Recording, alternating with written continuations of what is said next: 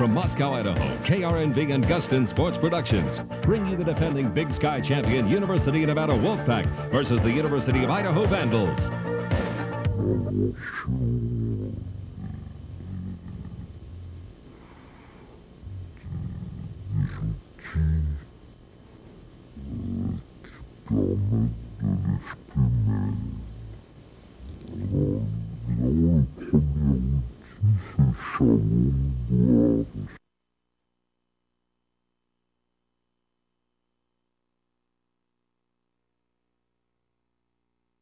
Loves to throw the football.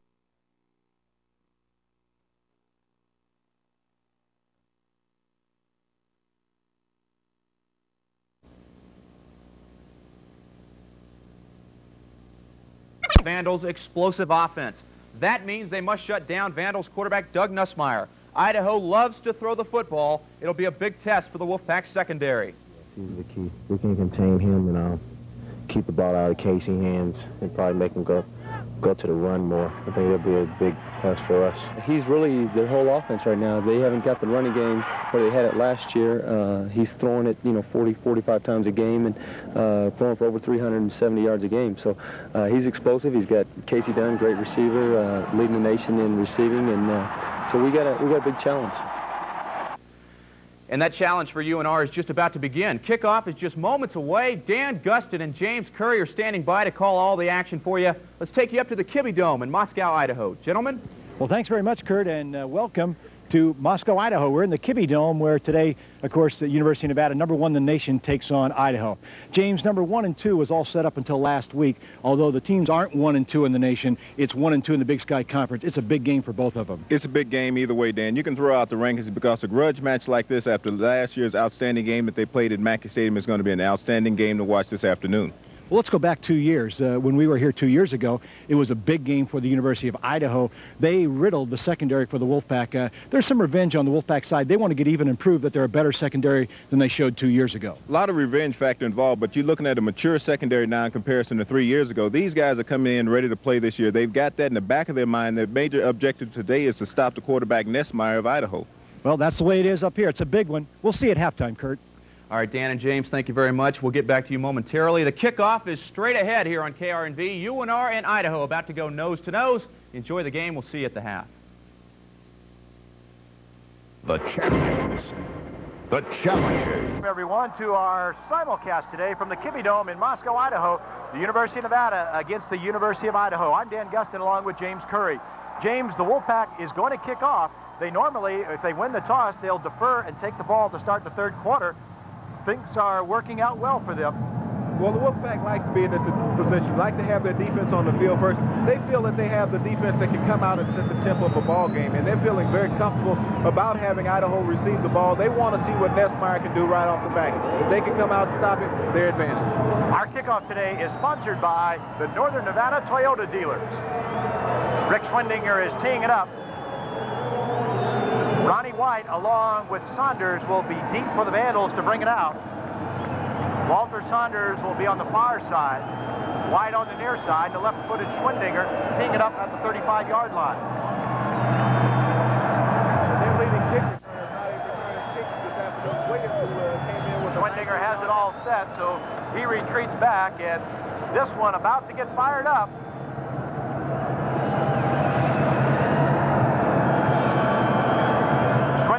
Gets the signal. Left footer stares at it. As the Wolfpack gets down, he comes forward. It's a high end-over-end kick. It has gone Saunders' way at the five-yard line.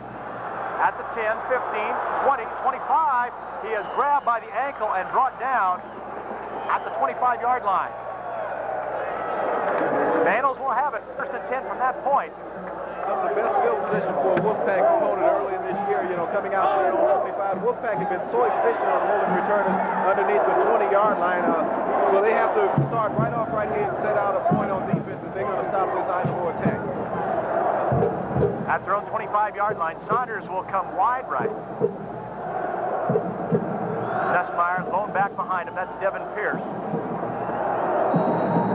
Wolfpack showing deep bump and run against the Idaho offense. First and 10 at the 25-yard line. Motion man is Yo Murphy. He comes all the way right side. Nussmeier on delay to Pierce. Grabbed at the line of scrimmage and tackled by Matt Clafton. Clafton gets the opening hit of the ball game as he filled the hole quickly, James Curry. Well, they felt that they could hold Matt Clafton within the middle for most of the afternoon, and you will see him on a few blitz situations here this afternoon, and Matt Clafton made a great one-on-one tackle that time against Pierce. Wicker and Schneider, the strong tackle, strong guard. The center is Spellman. Dory, the weak guard. And Smith, the weak tackle. Nussmeier, the quarterback, get a look at the other backfield. Second and nine from the 26-yard line. We just started, no score. Vandals with opening possession. Nussmeier, no back backfield, looks right side, throws up the seam, complete to Casey Dunn. He's over the 50 to the 45 and down inside the 45-yard line. Just a great seam route that time by Casey Dunn, running down the middle against Brock Marion. He lined up at the inside receiver position and was able to come off the field. Will juke move to the inside, got inside Marion. Marion just a great float pass by Nussmeier that time for a big play and a first down. Wolfpack defense features Caspers, Rogers, Buddy, and Harker down lineman with Clafton inside. Amatia starting the first time in three weeks, along with Mark Drehos. Big play early for this Vandal offensive attack. At the Wolfpack 42-yard line, first and 10. Done with a 32-yard catch and run. Nussmeier on the option, pitches to Pierce, coming left side. He's got some running room inside the 40. Clafton gets him near the 35-yard line. But the first to make contact was Xavier Carey. Excellent play call that time. You come with the long pass, you come back with a little option play to the wide side of the field. Great block that time on the outside by the, by the receiver on Brock Marion. Might have been a little holding, got away with it by the official. That time turned it up for a gain of seven, second in a short situation here. Second and about four to go at the Pack 36-yard line. Again, two wide receivers right. Saunders is alone on the left side. Pierce in the backfield gets a call right side. At the line of scrimmage, he has met and hit and brought down at the 35-yard line.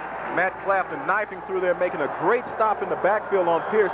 No one was able to get a hand on him. Great job by the defensive line of the Wolfpack. We have a flag down. You can tell, James, there's a lot of emotion because there are conversations after every play between the players. Yeah, we got a personal foul call here this time. It'll be against the Wolfpack. I'm not sure if it was taunting, but there was some conversation going on. The personal foul is the indication. Gary Peters, our referee, signaling the Wolfpack will be penalized 15 yards.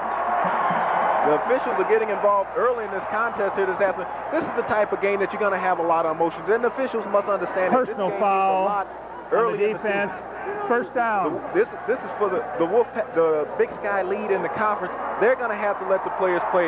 A lot of emotion is flowing. They're, they're fired up and playing on adrenaline right now at the 20-yard line. It is first and 10 Vandals as they come to the line of scrimmage. They started back on their own 25. 13.05 to go in the first quarter. The Wolfpack has not touched the ball offensively. Nussmeier studying the defense, has three wide receivers left. He moves Pierce in the backfield. We'll give it to him. Pierce slicing up the middle. Good hold inside the 15. He will go down near the 11-yard line. Just a great cutback move that time by Pierce. Started off to the left. They pulled the right guard that time, trying to get around. Swing, swinging there, trying to get around to the outside. He saw the hole. He was able to cut back underneath the floor of the defense, able to get down inside the 15-yard line to about the 12. One of the things the Wolfpack does not want to do, James, is over-pursue. And, and that's what he is. He's a great cutback runner. Last week he had a big struggle, only 10 yards, and he's had a great opening first quarter here in this initial drive. Yo Murphy is alone on the right side. Two receivers left. Again, Pierce the eye back. He gets the call. Left side. Good fill by Clafton. Clafton came up and hit Pierce right at the line of scrimmage. Matt Clafton is playing inspirational football here in the first quarter. He has been solid on all tackles this afternoon. Very firm, wrap up, bring him down, do not allow him to gain that extra yards. The defensive line is keeping the, the offensive line off of Matt Clafton. Offside will be charged against the Wolfpack, so they're exuberant at the line of scrimmage may cost them after an excellent defensive play by the leading all-time tackler for the Wolfpack, Matt Clafton. He was Big Sky Player of the Week defensively last week. 12 tackles and two sacks. Clafton, the senior out of Dublin, California, By the defense, to have his nose on First the ball. down. Well, two penalties here against the Wolfpack in this opening initial drive. Very unaccustomary of the defense. The way they've played this year, they've, they've had an outstanding disciplined defensive group, and to have two penalties in the opening drive of the game is not their style of defense. It'll be first and goal now at the seven-yard line for the Vandals. They took it back at their 25. They got an extra defensive man on the field, the Wolfpack does. They're and Lackey has gone, he has gone to the wrong side, so the flag is down. Lackey went to the opposite side of the field, James. You just don't do that. You get the illegal participation penalty here, but what it does, it does not allow them to run a play where they have a free play.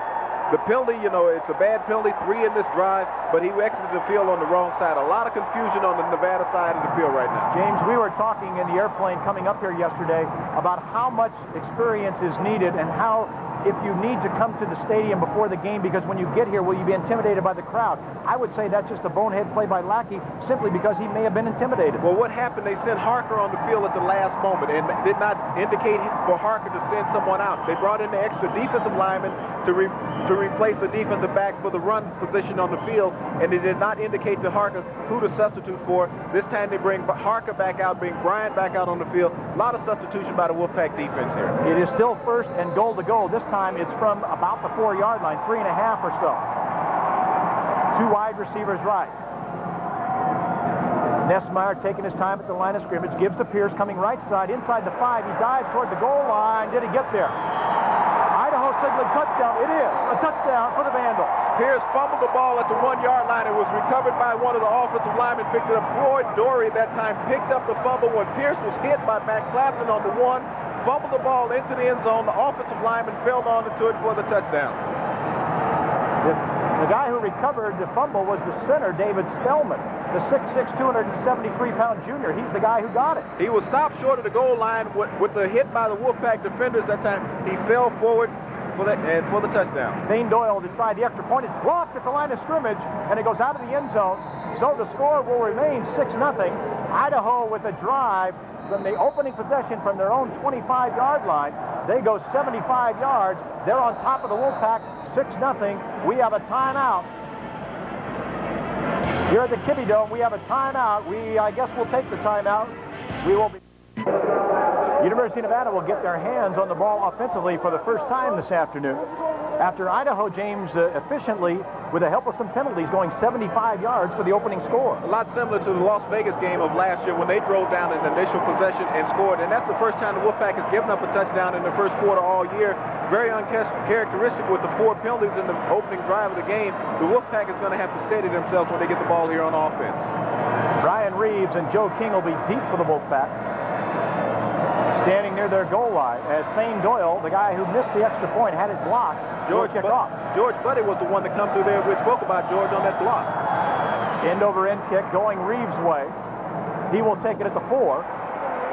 10, 15, looking for running room, a little bit hesitant. He will get not up to the 20-yard line. James, we talk about intimidation. Reeves did not lower his head. He was not going full steam ahead. Brian Reeves has had one criticism as a kick returner this year, is that he just not, just does not explode up the field. He tries to jitterbug. Jitterbugging at this level of football is not really going to get you too many open field positions. That time he tried to dance around, allowed the defense to close on him. They brought him down short of the 20-yard line. It is just shy of the 20, but we will call it the 20-yard line. First and 10, Wolfpack. Three wide receivers come left. The wide man is Singleton. Eric Smith, as we said earlier on our radio portion of our simulcast, will start in the backfield in place of Zeke Moore and Diedrich Holmes.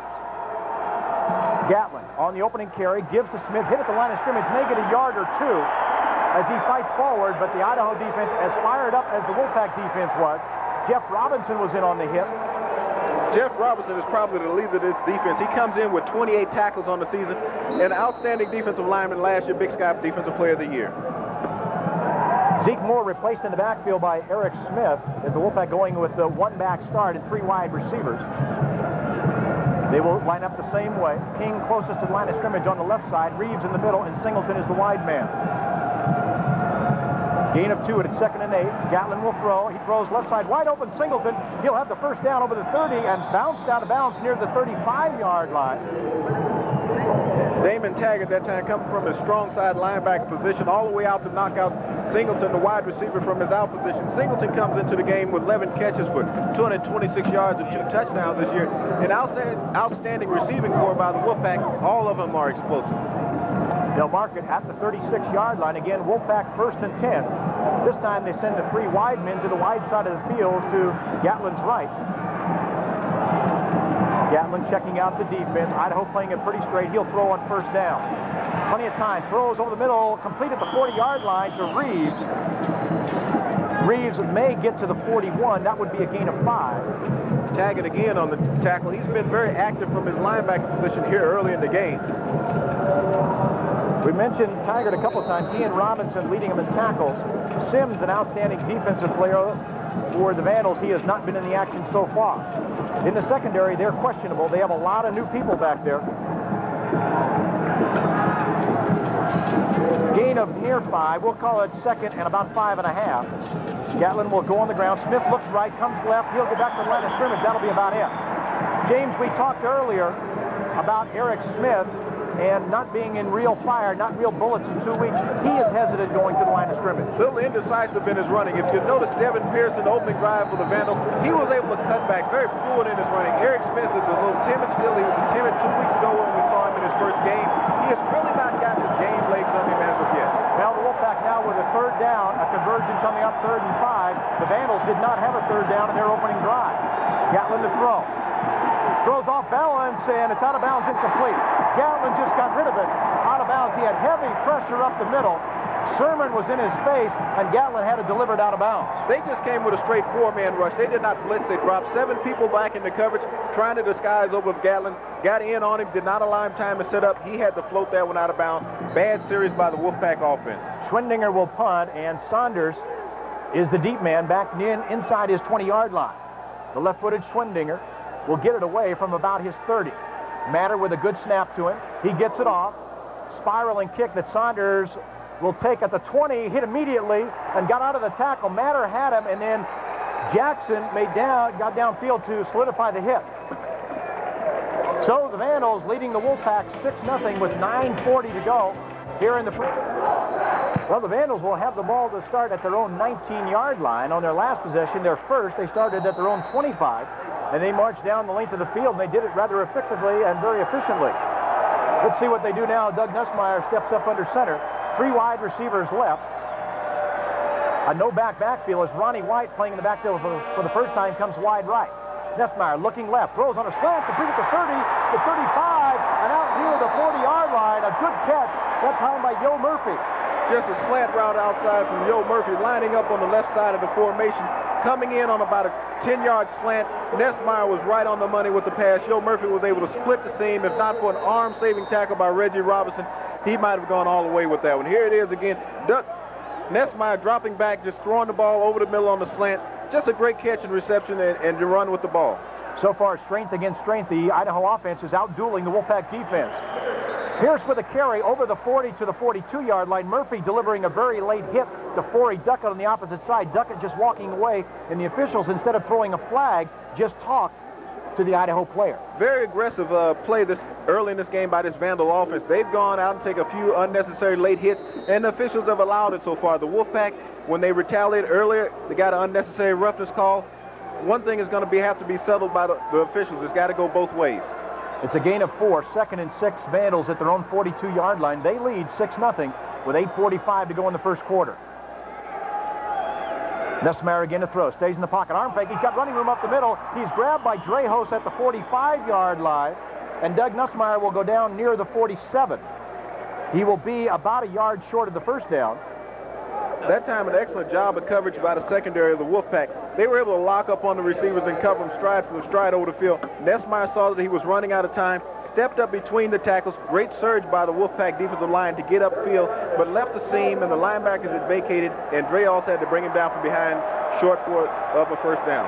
Nevada, again, in number one position coming into this game in the 1AA, and Idaho down at 14.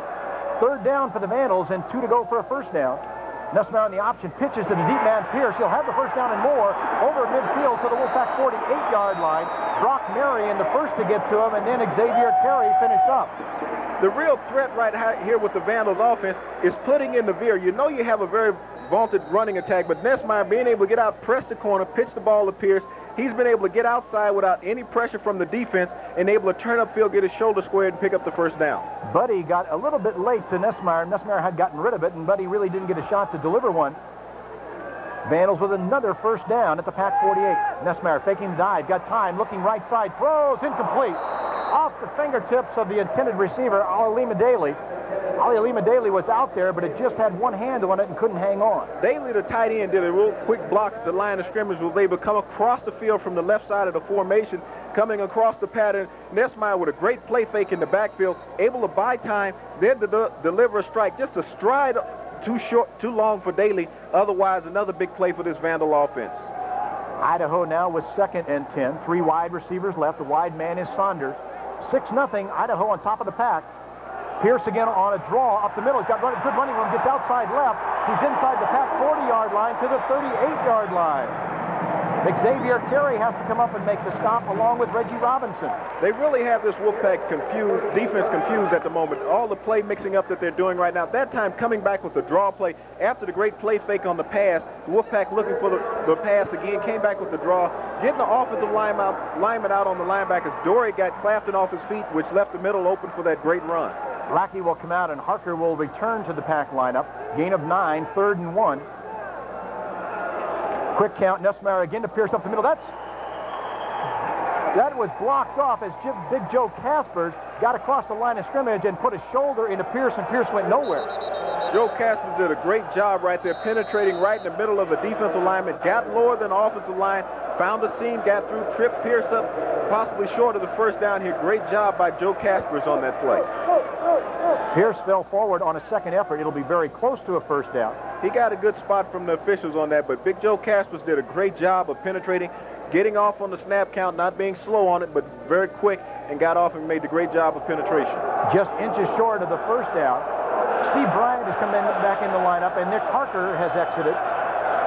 So again, a big decision to be made by the Idaho offense. Fourth and short. They're going to go for it. At their own 38-yard line, a time for the Wolfpack defense to make a stand and make a statement. Momentum all in favor of the Vandals, leading 6-0 with 6.46 to go in the first quarter here in our simulcast on the Wolfpack Radio Network and KRNV in Reno. Inches to go for the first down. Nussmeier up under center. Two wide receivers right. Pierce the lone back. Gives to Pierce. Hit at the line of scrimmage. I'm not sure he got it. Mark Drehos stepped up to make the giant hit for the Wolfpack. He didn't make it on that. Joe Cass was, again, very instrumental in that play. Joe got across with a great swim move in the middle of the line to get penetration to make Pierce change his direction. When he came with the cutback, Mike Rogers was right there to bring him down for the, for the tackle. Now, the officials, uh, the, maybe the determining factor here where they spot the ball, but Mark Drehos was there very quickly to wrap up Pierce, the ball carrier. Let's see where they stretch the chains if the Wolfpack defense is held. It's close. The officials have to get down and eyeball it. It'll be short. The official on both knees down to see it, and the call is short. It's first down Wolfpack. Great play by the Wolfpack defense. Big surge by the defensive line. Two plays in a row, the Wolfpack was able to come up. Big Joe Caspers got across, got across like a defensive lineman should.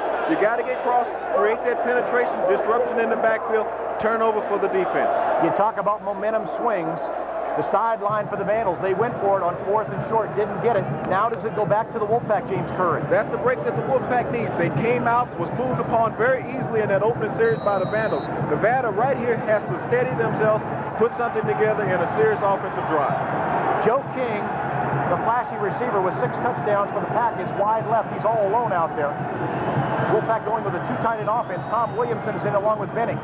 On the ground, they go to Smith, up the middle. Good running room over the 40 to maybe the 42-yard line.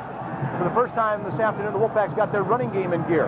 That's what Eric Smith does well, is a straight-ahead power runner. He is not the slashy runner that you'd seen from Zeke Moore, the freshman that you'd seen earlier in the year that they'd put in a couple of games, Holmes. Eric Smith is that power runner. You have to give him the ball with his head of steam. Let him hit up in there for four or five yards every carry. This time, Benning will set up on the left side. Williamson, the other tight end, on the right side. 6-0 Vandals with just under six minutes to go in the first quarter. Idaho scored on the opening drive. Their after touchdown point attempt was blocked. Again, Smith on the ground, starts out left, comes back right. He will get to the 44-yard line before they stand him up and stop his progress. Smith turns and throws the ball at the Idaho defense at Jeff Robinson. That's not the guy you want to bring any anger out in. Robinson is maybe their best defensive player. He is the guy that will get in your backfield and disrupt it. But uh, Robinson also, you, that's the guy you need to go at. If he's your best defensive lineman, challenge him. Challenge what they put on the field best. Go after him. You don't want to run away from him give him that type of respect. You want to go straight at him and let him beat you if he can. Nevada converting 47% of their third downs, has another one coming up on third and three at their own 45-yard line. Three wide receivers left. Gatlin to throw.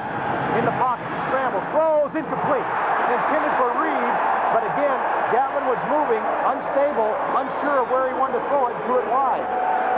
That time, Gatlin seemed totally unsettled in the pocket. He was not comfortable. He had plenty of time given to him by the offensive line, couldn't find his primary receiver checked off, his secondary receiver was covered, and forced the ball over the middle of Reeves. Feel very fortunate that he didn't have that one intercepted that time. James, it looks to me in the first quarter, the Wolfpack is unsteady, unsure at home. They have all the emotions and all the assurity that they're going to perform well. They're uncertain right now in front of this crowd. Coming to the confines of an enclosed stadium is a lot different than playing on an open field at your home ground. Schwendinger with time to hang it high for Saunders, running right. He signals a fair catch. He'll take it at the 16-yard line. The nice thing about it for the Pack is they have gotten better field position on the punt. We'll take a timeout reminding you, you know, tonight, starting at 5 o'clock, they're going to have the fall brawl. I tell you right now, they've got a brawl going on, but at the Reno Sparks Convention Center, Sweet Pea Whitaker takes on Jorge Paez. That's going to be quite a fight. World Championship fight. Two of the better fighters fighting nowadays, pound for pound. And the, the lighter ranked fighters don't get as much recognition as the heavyweight, but this is a fight that local fans want to go and see. The battle on the ground right now, Idaho winning with 88 total yards. The Wolfpack with just 29 this far in the first quarter.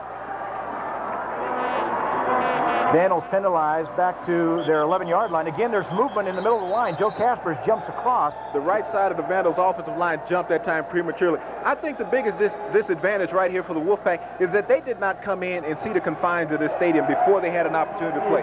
Being on the road for the first time in four weeks and coming to a dome stadium, the first time you've been up here in three years, and the Wolfpack had wanted to uh, be here and get some revenge, you can see that they're a little hesitant right here as far as what they've been doing in the first quarter defensively because of what had happened to them a couple years ago. They need to get settled. If they'd came and saw the confines of this building a little earlier, they might have been a little more settled at the start of this game. Chris Schneider, the strong guard on the right side, was the guy who moved, and he was penalized another five. Now the Vandals will have it first and 20. They're back at their seven-yard line. Nussmeier will drop into the end zone to throw. Now scrambles around, grabbed, and he'll be sacked by Drehos back at the five-yard line. Mark Drehos coming off his block. He and Caspers were there, but Mark will get the sack. This is the Wolfpack defense that we had come accustomed to seeing the first four games of the season. Steady on defense, across the defensive front. They're getting the penetration up front now. Drehos did a great job of contained rushing from his right defensive end position. George Caspers came up the middle. Drehos came back around on the fold when Nussmeier vacated the pocket for the sack on the play. Nussmeier actually will only lose one to the six-yard line. The line of scrimmage was the seven. Great spot by the official. He was down on the five. Yeah, it was second and 21 now. Nussmeier again looking right side, throws, incomplete. He threw out there for Richardson, Curtis Richardson, who had gone down about two steps and then turned out, and Nussmeier didn't read it well and threw it about five feet wide. Bad read by Nussmeier. They lined up in the trip formation right, the Idaho offense had, trying to run a clear out with the two inside receivers, basically a screen play. Throwing the ball to the wide out. That time Nussmeier threw behind him, uh, putting himself in a bad third down situation here. Wolfpack will go with five defensive backs about 90% of the time. This is one time when they'll go with six. Lackey is in. He is wide right on the defensive side of it. Nussmeier from his end zone will throw. Looking. Throws up the seam. Complete at the 30-yard line. That is Chris Taylor. Taylor was the man lined up on Lackey, and Lackey couldn't keep him away from the ball. So Nussmeier, with a big hole, he needed 21. He will get it all the way out to the 34-yard line. Great play call that time by Nussmeier. Lackey cannot allow Moore to have the inside position on the defense. Stepping back, Nussmeier had all the time to observe the defense, looked it over. Moore was lined up to his left side, looked him off very well.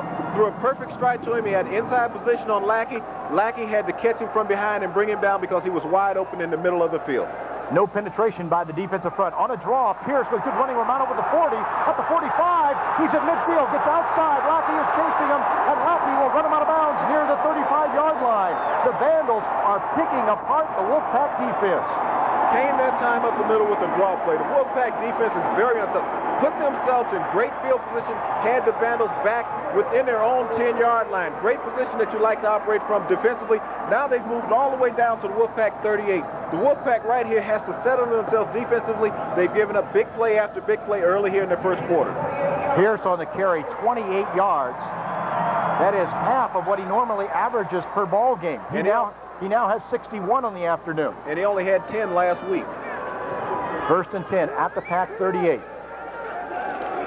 Nussmeier on the ground to Ronnie White. He slides along the line of scrimmage inside the 35. He'll get to about the 32-yard line. White started out left. He came back right side, and there Reggie Robinson was to make the hit. Cutback is what the, the Vandals running backs want to do today. They know that the Wolfpack has a great pursuing defense. That time, White started off to the left side of the formation, cut back against the flow, was able to pick up seven yards on the on the run. The Wolfpack is going to have to un under pursue just a little bit, slow down in their pursuit, and not overrun, allow the, the backs to cut back underneath them. White will stay in, and remember, that name should be familiar. He was recruited originally to play for the Wolfpack. Nussmeier to throw after a fake to White. Throws almost intercepted. The Wolfpack defensive players, Reggie Robinson and Xavier Carey, bumped into one another. X had a beat on it. He was there, and uh, Reggie came from nowhere and knocked the ball away. Xavier Carey that time broke off the, his, his, his man that he was covering, Casey Dunn. He had Dunn one-on-one -on -one over the middle. Nussmeier had locked in out on the wide side of the field, and he and Reggie Robinson read it, made a break on the ball, and if not for the two defenders running each other, Xavier Carey and Reggie Robinson, Reggie Robinson had a chance to return that one for six. Holding is the call against Idaho. That will slow their offense temporarily as they'll be penalized 10 yards. The down will repeat. It'll still be second down. But At least the Wolfpack will slow that offense a little bit because Nussmeier Again, uh, last week, his big problem, James, in the second half against Northern Iowa, he was intercepted three consecutive times. He just came a little unraveled last week in the second half. What the Wolfpack has gone to is a zone defense here in the secondary. Everybody has played Nussmeier with a man-to-man -man coverage.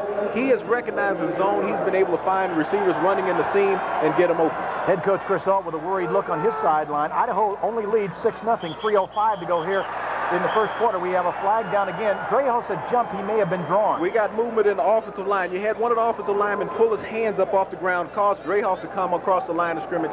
Dead ball foul. it. The, the referees will stop it when the offense moves first. Dead ball foul. gets another break right here. By the offense. I had talked uh, just a little bit ago about Ronnie White. He had been recruited by the Wolfpack, and uh, two years ago, it looked like he was going to be their number one back. The problem with Ronnie, he didn't like the books. No, he, he liked to skip class. When they when they brought him in, they felt that he could get the job done at, for the University of Nevada, but they found out that he was skipping the classwork and was more interested in just the field work. And if you're going to play football at the University of Nevada, you're going to have to go to class also. And Chris Ault just would not stand for that and felt that he should pursue his career elsewhere. Even as outstanding a back he is, uh, uh, Chris said, no, you got to wear down with the books. White fumbles, picks up the bouncing ball to the 40-yard line, and then chased on the sideline and run out of bounds. White that time, we have a very late flag it looked like it was a face mask or a slap to the head, but White came through the line of scrimmage. He fumbled it and got the opportune bounce. It bounced right back up to him about waist high. He picked it up and continued on the sideline. Ronnie White kicked the ball twice. Actually, he hit it the first time and it came loose. He picked it up again, and he was able to pick it up in stride. Perfect bounce from a football and it got a late flag at the end of that run. The official from about 15 yards behind the plate probably threw it on uh, Reggie Robinson when he took him out of bounds because Reggie came over the top really hard with the forearm, and I think he's going to get him for a personal foul call on that. The only unfortunate thing for Robinson, he really didn't lay it. He kind of glanced it off the top of the helmet. It really wasn't a, a, a tremendous hit to the head, but again, the uh, official from behind saw the infraction and immediately threw the flag. And as intense a game as this is, you hate to see the officials play such an integral role in Personal it. But they've been just as involved in the game as the players down. have, and they've thrown the flag on frequent occasions as here in the first quarter. Customary, you don't see this many flags in an entire game against the Wolfpack. Idaho will have the ball at the Pac 12-yard line, first and 10. We have 2.57 to go in the first quarter. The Vandals lead 6-0. Nevada been penalized 36 yards this afternoon. The, the Vandals in four penalties also, just 25. Casey Dunn in motion, starts towards the line of scrimmage, then sets up. They give the ball to Pierce going left side, slices through a hole that I didn't think was there. He gets inside the 10-yard line to maybe the 8. Devin Pierce has done a tremendous job of running here, reading his blockers this afternoon. They, they've been running the trap play inside. The cutback has been there for Pierce and White when he's been in the game. That time Pierce hit a seam that couldn't have been wide enough for a to get through and was able to pick up six yards on the carry. 69 yards so far this afternoon. We're still in the first quarter. Vandals with a second and six at the pack eight-yard line. Ball in the left hand. Nussmeier again faking the throw, gives to Pierce, jitterbugging his way to the five-yard line. Devin Pierce started right, then went back left. Xavier Carey, the spy in the middle, came up and made the hit. Right now, Nussmeier has Wolfpack defensive front off balance. They don't know whether to rush him or stay back waiting on the draw play. He's mixed it up so well against the Wolfpack defensive line.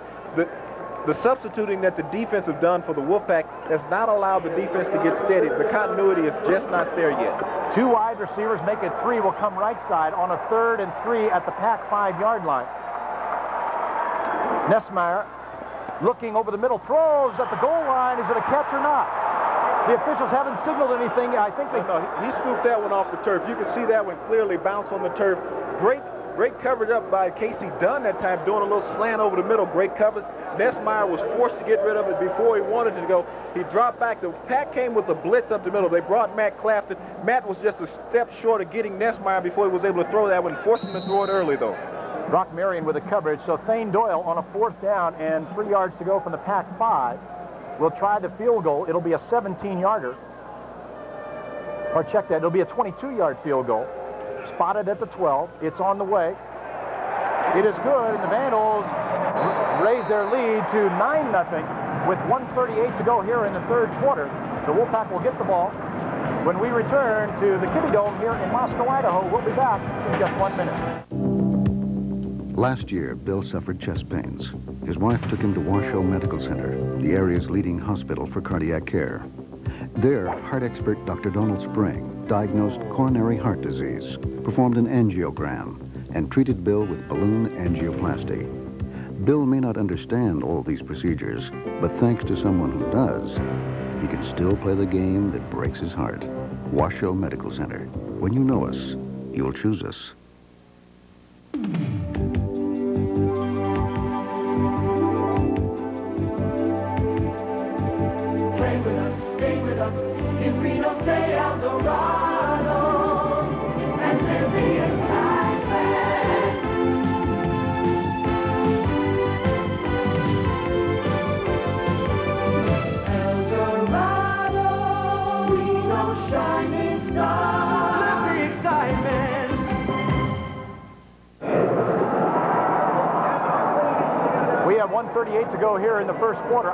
Has had all the momentum so far, James Curry, but they only lead 9-0. They've run 22 plays offensively, and they've come up with nine points out of that 22 plays. Wolfpack has to come up and stop them for this next series if they get the football. Thane Doyle, who just converted the field goal, will kick off. King and Reeves are deep. Brian will take it at the four-yard line once again. 10-15, looking for a seam. He's hit and goes down at about the 24-yard line. Brian Reeves on the return. Last time he got it out to the 20 from the four-yard line, so give him a return of about 20 on this one. Williams, the backup defensive back out of Fresno, California, was the one to come down and bring Reeves down on that kickoff return. Brian Reeves is going to have to run when he gets the ball. Not wait for a hole to open, but be there when the hole opens. He is right now hesitating on his kick returns, which is not benefiting the Wolfpack. Idaho went 79 yards in 10 plays for their field goal. Gatlin will throw on first down from his own 24, throws it out left for Singleton, wide open. He kneels down and takes it at the 42-yard line. That was a perfect throw by Fred Gatlin. He had to throw it over the defense to a waiting Chris Singleton. He dropped that over two defenders. That time, the Wolfpack caught him in a two-man deep zone and was able to get a first down out of it. Thane Doyle now 5 of 10 on the year, converting the 22-yard field goal to give the Vandals this 9-0 lead. The Wolfpack with their third possession this afternoon with a first down at their 42-yard line, trying to kick their offense in gear. Three wide receivers right. Fred Gatlin and Smith in the backfield. Flag is down. Smith with a carry at the 45 at midfield. He will go to the 48-yard line of Idaho, where Darren Taggart will make the stop. But let's see what the flag is. I believe it'll be against the Wolfpack, or will it not? We got an offside against the Vandals defense. There. They moved a little quick on the defensive line, and I think you're going to catch them offside. Find the Wolfpack still in very favorable field position if they turn down this penalty, probably with a second and one or so, one and a half. Talking about the Wolfpack front, let's uh, identify some of them for you. Shariar Portniche, the left tackle, Tony Edwards, the right tackle, Tom Rebeckus, the right guard, Alan Maxwell, the left guard, In the center is Mitch Baker. And right now, these guys have been the most steadiest part of the Wolfpack team in this early season. They're going to have to come on track and start dominating this Idaho defensive front because these guys have gotten their ears pinned back and they're coming after the quarterbacks. Right here, they're going to have to take control of this football game and start getting a surge on that offensive line. 110 left to go here in the first quarter. Idaho leading 9-0, but the Wolfpack mounting their best drive. Brian Reeves in motion comes left side. Gatlin on the ground to Smith. Noses forward. He got about a yard. That's about it front of the line. Looked like Billy Sims was the first to get a hand on it. Billy Sims right there in the middle of things. This Idaho defense is playing hard-nosed football. They're very inspired this afternoon, and they're getting a great push up front, and they just have not backed down to this Wolfpack. Coming in number one in the country sometimes puts you in a vulnerable position because everybody is gunning for you, and being a conference game, they're gunning for you even more. Taking a look at it, that close on a third down, maybe less than a yard to go for the first down. As the officials stretch it out. The last time the Wolfpack held, that's enough for a first down. It was just by inches. No, they got that one by a knob on the ball. It, it wasn't even an inch that time. We have had nine flags here in this first quarter. Less than a minute to go now with 46 seconds remaining. But this is what the Wolfpack needs. They need to mount consecutive first downs. They need to just establish a drive, not to try to get it all back in one play, but pick at it bit by bit. They have the type of offense that can score a lot of points in a hurry when needed, though. They go with their tripped receivers right on the first down. A noisy Kibbie Dome, and uh, the receivers may have trouble hearing Fred Gatlin. Gatlin, middle screen, complete to Reeves. He breaks the tackle to 45, to 40, trying to get outside to 35, 30. He's at the 20, 15, 10, 5. Wolfpack touchdown. Brian Reeves, great play and catch that time. Freddie Gatlin did an excellent job reading and drawing the defense. Brian Reeves in the trip formation was the third receiver in the formation, drug across the middle, read the defense personally. Freddie Gatlin gave himself time to let the defensive line get penetration. Brian Reeves drug over the middle, broke the initial tackle. One of the linebackers stepped back, got an arm on him. Great blocks downfield. Some of the offensive linemen that got loose, but one of the receivers I believe it was the tight end that got it, got loose. Scott Benning, I believe, got it loose, got it blocked downfield on about the 25. Brian Reed scores a touchdown. Schwendinger will try to add the extra point out of the hole to Williamson. Good spot. Kick is on the way. It is good. We have a 9-7 ball game with 17 seconds left to go here in the first quarter. Idaho on top by just a deuce, James Curry. Idaho is on top by a deuce, but the Wolfpack did something very important that time. They did not make errors. They did not get penalties. They got themselves settled. I think the coaching staff brought him to the sideline, did a few talks, let him know, hey, we came out, we made some critical errors offensively and defensively. Let's go out and play the football we're capable of. James, a little comparison for you. Idaho went 75 yards for their touchdown. The Wolfpack just went 76. Great comparison right there. One yard's different, but the Wolfpack did something a little more important. They struck very quickly. They were patient offensively. Boom, the big play came. Freddie Gatlin to Brian Reeves. That tandem we've seen several times this year. That time struck, got the Wolfpack right back within striking distance. When you get Reeves loose in the secondary on an artificial surface, they're just not going to bring him down. He looked inside, went outside, and then he was gone. Well, his jitterbugging style that is a detriment to him on kick returns, that time became an asset to him as a pass receiver because he was able to elude a couple of defenders, stay in the open field, get to the sideline, take it up the sideline. Six point later, the Wolfpack were on the scoreboard. Ronnie White, along with Sanders, will be deep. I'll tell you, the Wolfpack would like to get the ball in Ronnie White's hands a couple times this afternoon because the coaching staff thinks he will fumble it two or three times. He's already fumbled it once. Well, they saw the one fumble that worked to his advantage, but also they need to see him touch the ball. Ronnie White is one of those players that has a lot of mixed momentum, adrenaline flowing through him right now. He wants to get back after Wolfpack, but in wanting to do something so bad, you're prone to make mistakes. Nevada only took a minute 21 in four plays to go that 76 yards we mentioned. About a third of the time it took the, the Vandals to score on their last drive. Schwendinger will kick off. Let's see, how he, see if he has enough foot to get it in the end zone. Short kick, end over end. Sanders will come forward. He will take it at the 10-yard line. 15, at the 20, a seam at the 25. A flag is down. He will go down right at the 30-yard line, but we have a seam way down, our flag way downfield. Steve Bryant, I think, was clipped or he was pushed. He was clipped by Brian Walmsley, a backup linebacker at that time. Very clear, open in the field. You had two officials standing right around. He was hitting the back, knocked to the turf because he had an open lane to make the tackle. The Wolfpack right now is playing what the Nevada Wolfpack we had expected to see when we arrived here at the Kibbie Dome this afternoon. Right now, they're playing very inspired, inspired emotional football here. It started out, as I said earlier, James, before the pack scored, even though Idaho had all the momentum and everything on their side, they only led 9-0, and with the pack coming back, it has evened things out. It's an even playing surface. You need to go to your opposing team's facility to get that intimidation factor off your back. They arrived here. was the first time they saw the dome in three years when they got here this afternoon the awness of being here, especially Clip for the first time players ever playing in one of the first and ten. It's an awesome feeling. I got an opportunity to play in the one at Idaho State years ago in my career at the University of Nevada, and it was an odd feeling coming in. Fortunately enough, we had the type of team that could overcome that awness. And I think we're going to see that here this afternoon. James, the Wolfpack needs now, of course, with only 12 seconds remaining in the initial period, they need some kind of a turnover. They need they need the big play from the defense to step back up and do what they're accustomed to because they are plus nine in the takeover ratio here. Nussmeier on a quick count gives to Pierce coming right side. He's hit right at the line of scrimmage and drilled down. Matt Clafton came across and put a shoulder into Devin Pierce. Mike Rogers was also there. Great penetration by Mike Rogers, able to get him around the legs, had him stop for Matt Clafton. Matt cleaned him up on that. That is the end of the first quarter. Idaho leading 9-7 here at the Kibbie Dome in Moscow, Idaho. We'll return with a second quarter. But the, the crowd reacting as the teams go to the opposite end of the field. Devin Pierce uh, one yard on that last carry at the end of the first quarter, so it'll be second and nine, but they still mark the ball, James, at the 10-yard line. Great surge, though, by the defensive line. They need the big plays.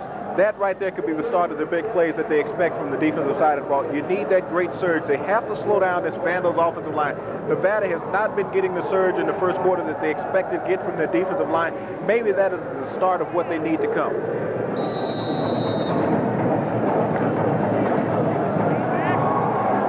with the first play here in the second quarter and a two-point lead on top 9-7. Nussmeier studying the defense as the Wolfpack backs off. Takes the dive, back at his goal line. He's being chased by Steve Bryant, rolls out and throws complete to Yo Murphy at the 22-yard line.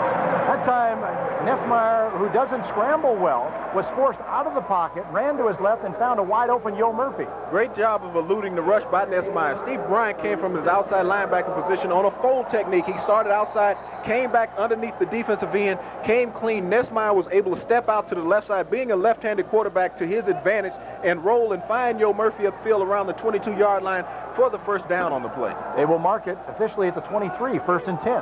Again, Pierce running up the middle will get near the 25.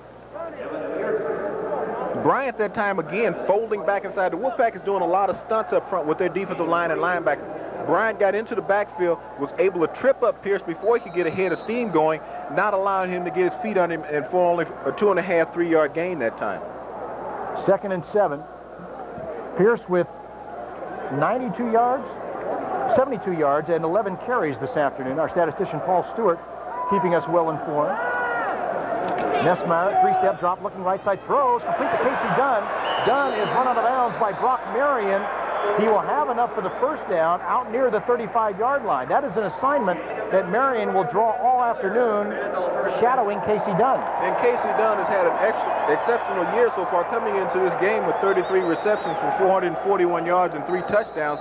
He had a big game last week with 10 receptions also, but coming in running a simple wheel route to the outside that time, letting the outside receiver clear, Dunn doing an out behind him, able to pick up another first down.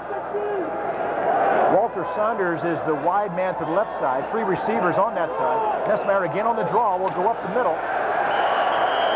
Out over the 40-yard line. I believe that's Ronnie White. It is White who's back in the lineup. He'll get it to the 41. Gain of about six. It'll be second and four. White did an excellent job of hitting the hole. What you have to notice about these Idaho running backs is that they're very quick off the ball, both Pierce and White. They hit the, the hole very well. They're up in there before that initial surge by the defensive line can get to them. They're into the linebackers and secondary. Wolfpack with their nickel defense. They have Lackey back in. He is the wide man, picking up Saunders once again.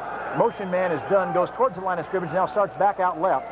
On the ground to go to White, trying to go wide right. Goes by Forey Duckett, and Brock Marion will have to come over and drag him down near the Wolfpack 45-yard line. Duckett had an arm tackle, but White ran right through it. That time, arm tackles are not going to bring down many good backs over the year. Forey Duckett had bad tackling technique that time. They came with the simple draw play, brought the offensive lineman from the counter side of the, the formation. White got outside, cut inside Forey Duckett, did not break down. Brock Marion's been very busy this afternoon, had to bring him down after another first down on that play. 13.08 to go before halftime. Our score, Idaho 9, the Wolfpack 7. First and 10 at the Pack 46-yard line. Nussmeier to throw after the fake. Throws along the sideline, incomplete. Reggie Robinson lowers the boom on Yo Murphy. Yo Murphy gets up and goes back to the huddle, but Reggie Robinson came over after the ball was overthrown, and he put a shoulder into Murphy. Reggie Robinson did what you should do as a defensive back. Nussmeier had all the time in the world. The defensive line is not getting the pressure on the quarterback that they should. Reggie Robinson had Yo Murphy lined up, and he yoed him on the sideline, left him lay in there. But Yo jumped back up, went to the huddle trying to see it didn't hurt me, but he had to feel that one. Reggie Robinson is a big defensive back, about 6'4", 210 pounds, and leveled him. Second and 10 after the incompletion. Again, done in motion to the line of scrimmage. Nussmeier on a straight drop back. Little swing pass complete to White on the right side. He's grabbed by Duckett. About a two-yard gain, and Forey Duckett this time will make the sure unassisted tackle. That time Duckett did what you expect a defensive back to do. You expect defensive backs to be your best tacklers on the field. He came up, went through the proper breakdown technique, got his feet squared up under him, waited on White to make the move. Then he attacked him, brought him down for a minimal gain on the plate. Great open field tackle by the secondary and Duckett. Nussmeier with an even 100 yards, 6 of 10 passing here in the first half. They give him three on that one. It's third and seven from the Pack 43-yard line. A no-back backfield. Four wide receivers. Three to the left side, one right. A blitz up the middle. Matt Clafton. He's picked up a low throw, incomplete, intended for Casey Dunn.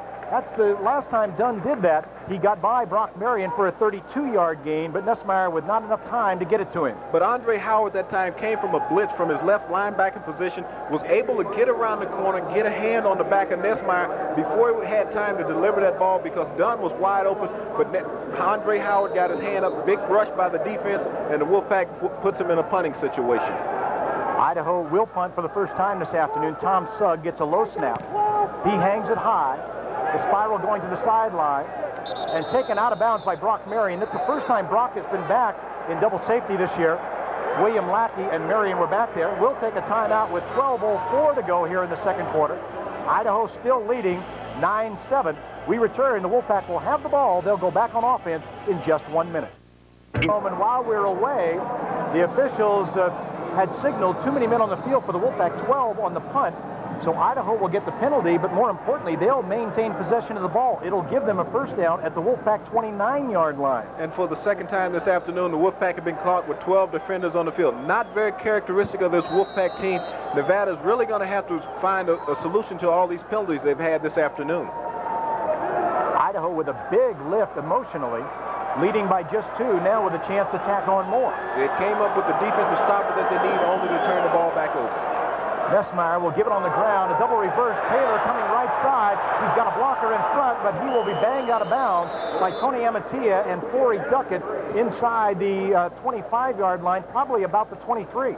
Great pursuit that time by Amatia, following the reverse as it came, as it formed, going back from the short side of the field to the wide side. That time, great pursuit by the Wolfpack defense to slow him down, not allow him to get more than five yards on the play. So John Smith with a little razzle-dazzle in his offensive package. They started left and came back right with a double reverse. Got five on it, second and five at the pack 24. Wolfpack shows blitz. They will come from the outside. White will get the carry going wide left at the 20, 15, 10, and he will go down at the five-yard line. Xavier Carey makes the stop came over and made White cut in. Otherwise, White would have been standing in the end zone. Just a simple off-tackle play, and that's one of the problems when you run a zone defense is that you get the defensive backs running away with their backs to the ball. That time, they came back with the counter to the outside, got a great seam coming off the left side of the offensive formation, had Xavier in a chase position. If not for Brock Marion being able to turn around off his receiver, making White cut back in, it might have been another touchdown for the Vandals. They have it first and goal from the pack five-yard line. White on the ground, trying to go wide left. He's grabbed, spins at the five, touchdown!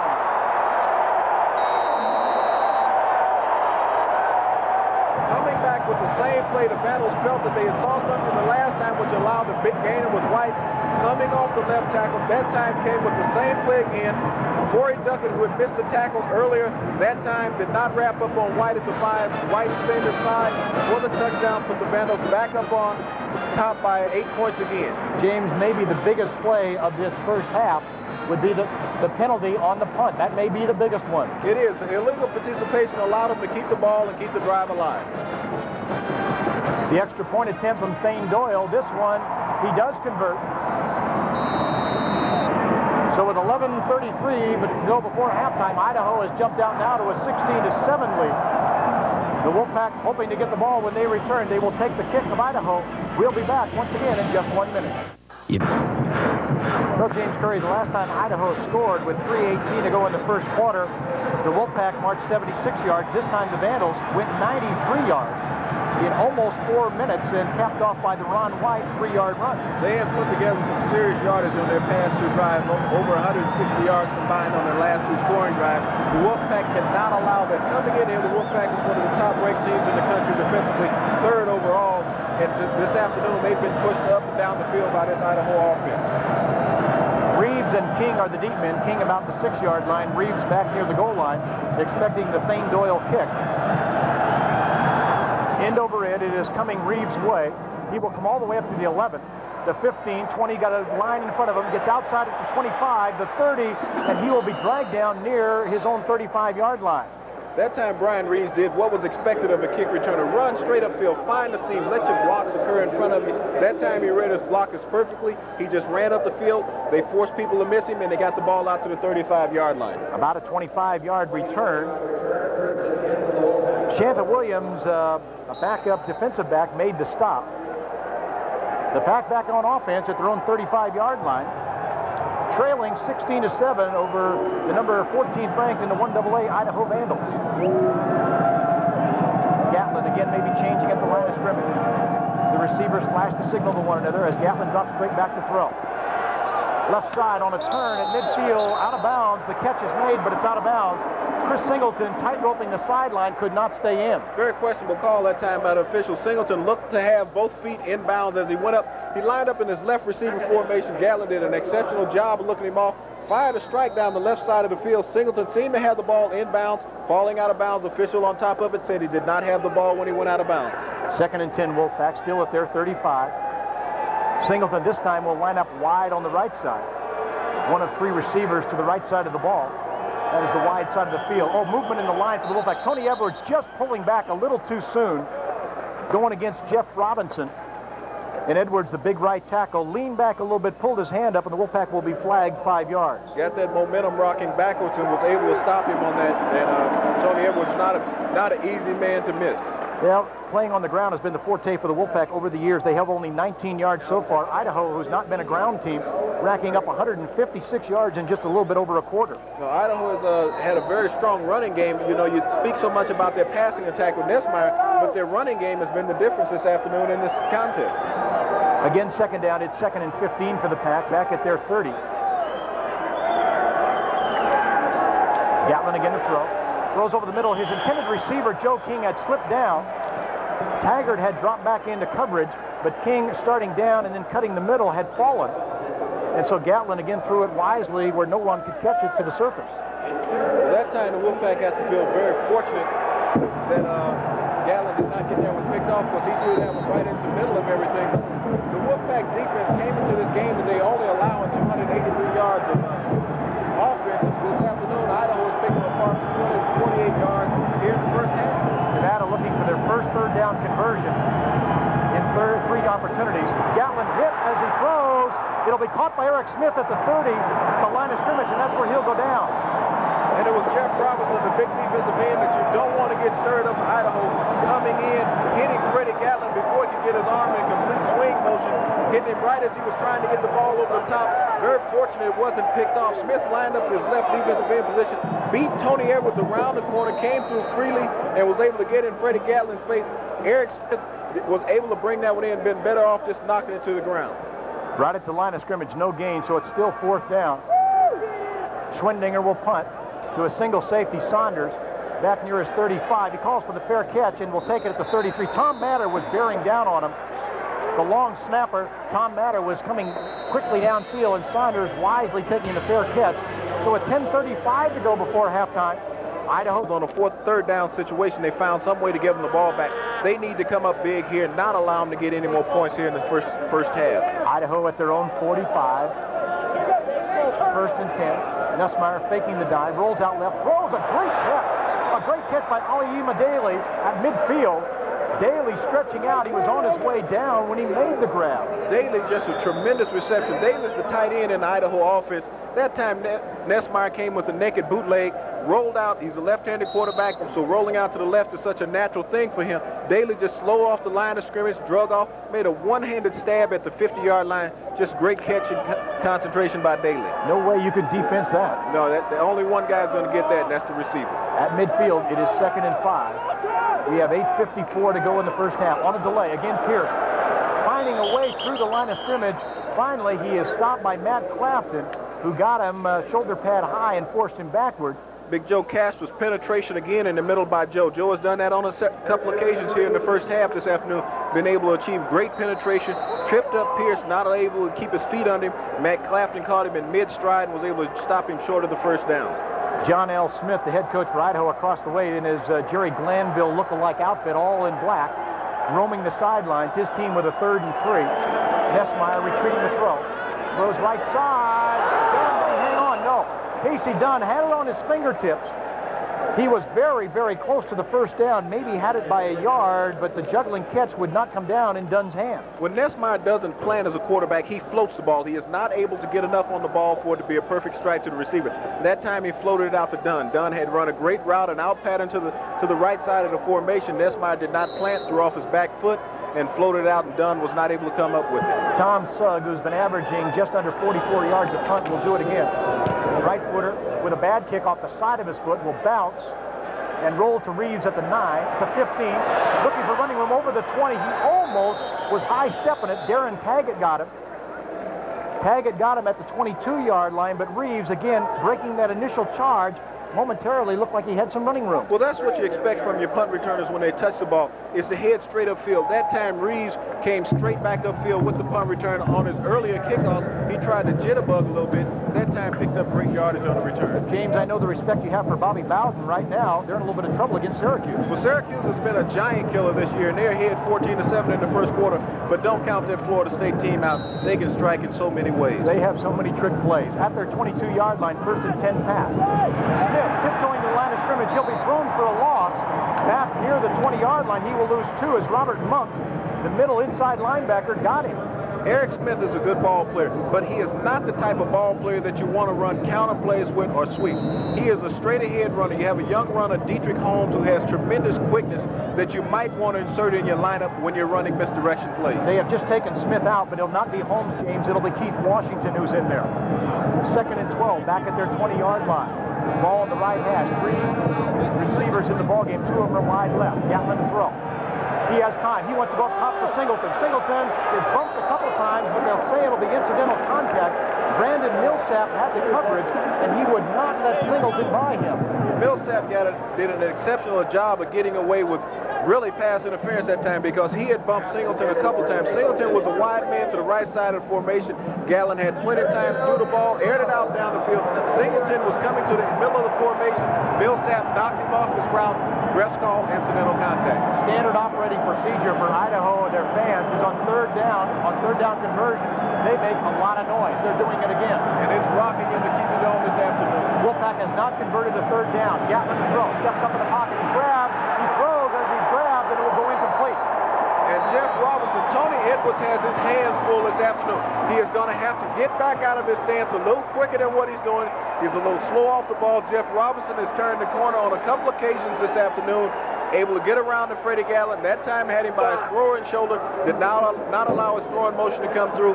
Pass fell incomplete. James, if Edwards can't handle him, they're going to have to leave a back in there to help out. They're going to have to do something. Widen him out in this stance one.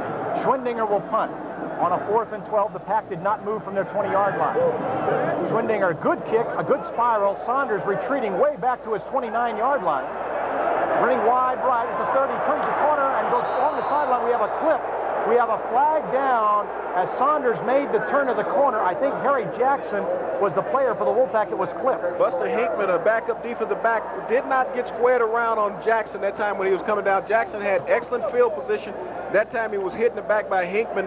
Hinkman came down and got his did not get it completely squared, knocked him off from the left from his left side and able to return it to get up the field, but it's going to be brought back with the clip call. Harry Paul Jackson, number 13, was the guy downfield with Tom Matter. They were both there, and Jackson uh, was in front of the defensive man. We have holding had nothing to on do, the return. But clip him. 10-yard penalty, It's first and interesting 10. the call is holding, but he really clipped him. He, he clipped him. He did not get around in front of uh, Jackson that time. Jackson, great job of hustle downfield, and that's what you need from your kick return team. You have to get guys down covered, and a great kick by Swinding at that time. Excellent hang time, allowing Matter and Jackson to get down, not allowing them time to set up their blocking scheme. Schwendinger, you said a great kick, James. 51 yards for the dinger. And the greatest part about that 51 yards, a lot of time you kick that on the line, he had the hang time. 7.07 to go in the second quarter. Idaho still leading 16 to 7. Three wide receivers left for the Vandals at their own 25-yard line, first and 10.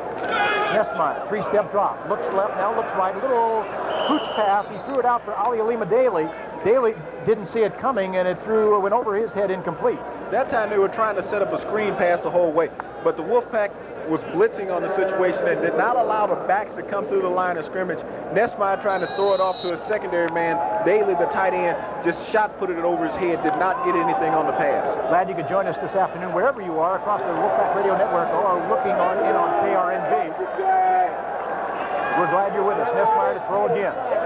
The ball banged at the line of scrimmage, or Joe Caspers put a hand up and blocked it as Nussmeier trying to get rid of it, and Caspers went after. He and Buddy were there, and George Buddy was looking for interception number two, James Curry. Great penetration that time by the Wolfpack defensive line. The Idaho Vandals were trying to run an underneath screen pattern with one of the receivers. Joe Caspers got great penetration as he's done on a couple, several occasions here in the first half. Was able to get his big hands up 6'7 in stature without his hands in the air and batted that one straight up, almost an interception, interception for Nevada's defense. With uh, six defensive backs. Idaho converting three of seven this afternoon. Pressure up the middle. Clafton chasing Nussmeier. Grabs him as he throws, and they will not convert the first down as Matt Clafton pushes Nussmeier's legs away from him. And then Clafton with some conversation to offensive linemen, but Nussmeier not able to outrun Matt Clafton, and the Vandals will have to punt. So they have three downs. They do not move the ball in 10 yards, and they'll punt again. Coming with the blitz that time, straight up the middle, Matt Clafton untouched. The coaching staff had talked about that. Matt was able to get to Nussmeier before he could get settled. Nussmeier must feel very fortunate that he did not call get called for grounding on that because that was 10 yards away from any receiver. Tom Sugg will punt again.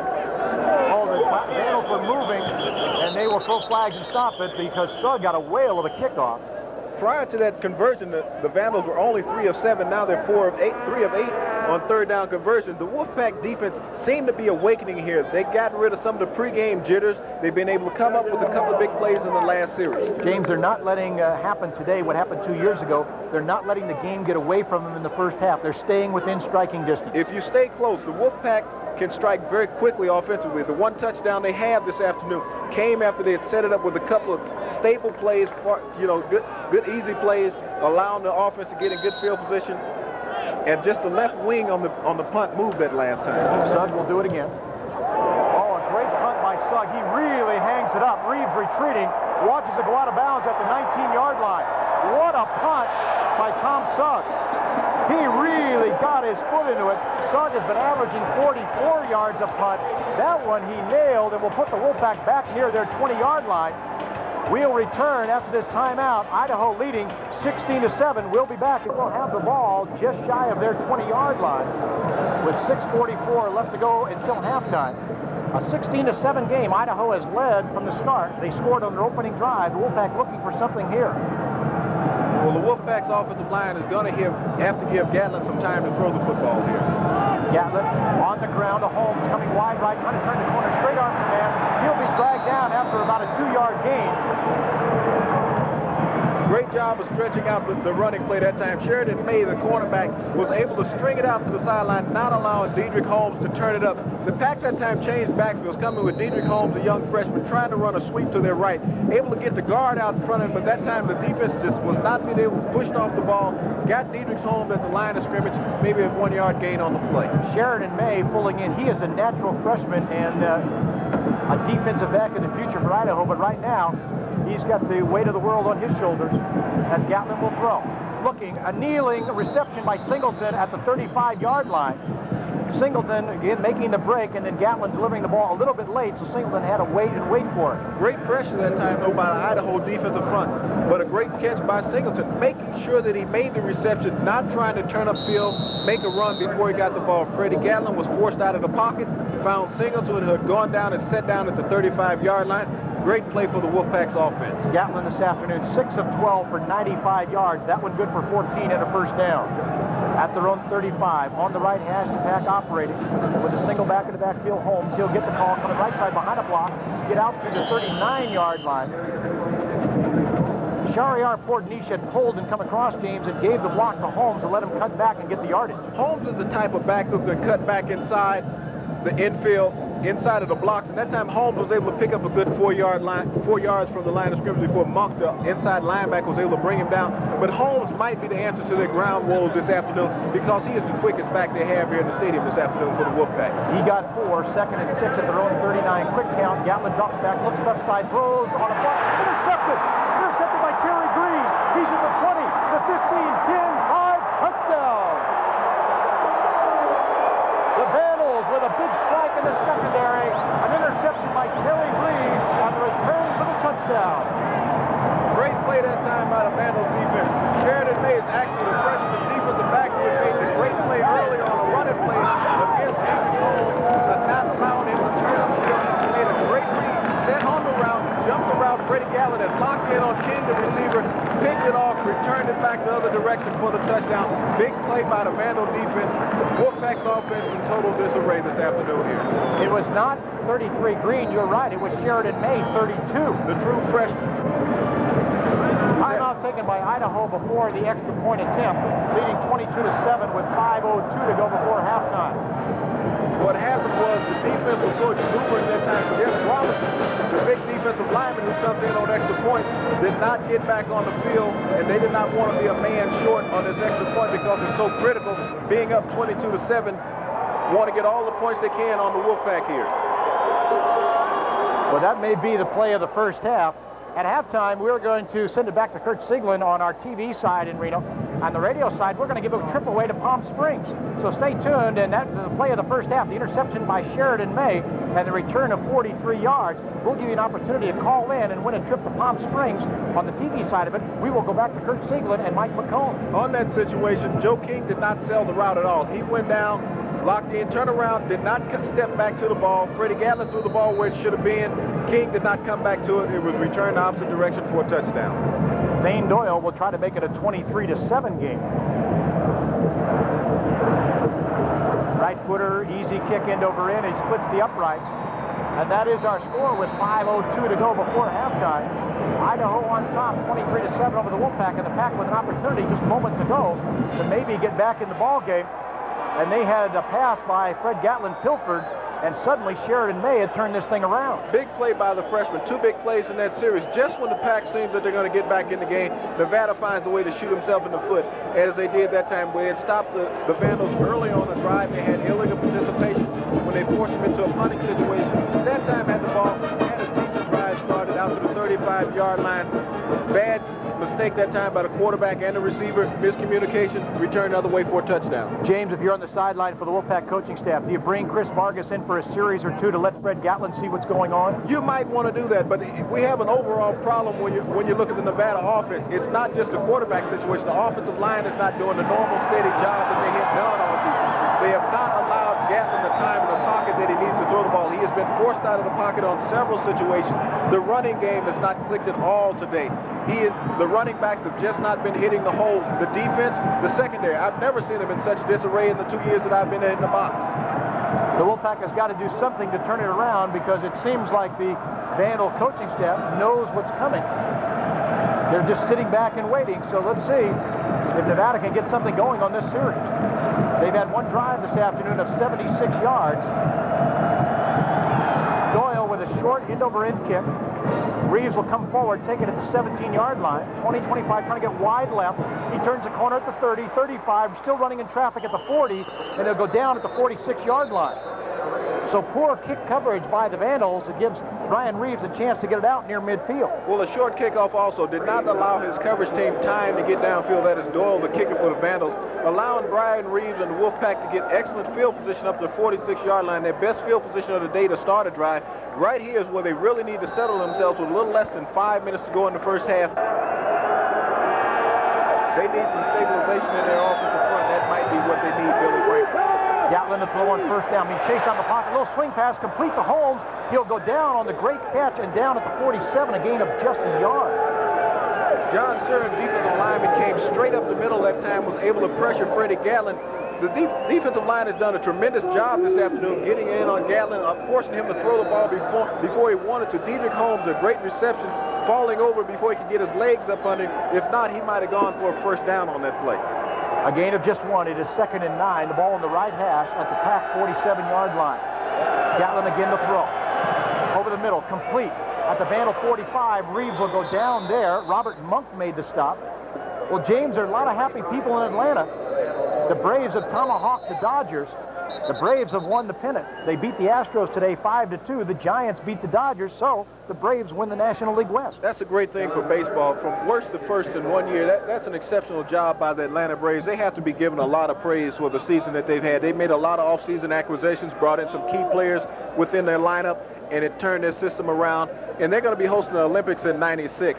We had a player down, Sharon, the, the Sherman, the defensive lineman, who was falling downfield on pursuit, and that time got hit up by one of his own linemen and was hurt on the play, and he's down with some assistance from his uh, staff. Looked like he might have a abdominal problem, maybe in the rib area, or possibly a knee. Now they've moved down to the knee.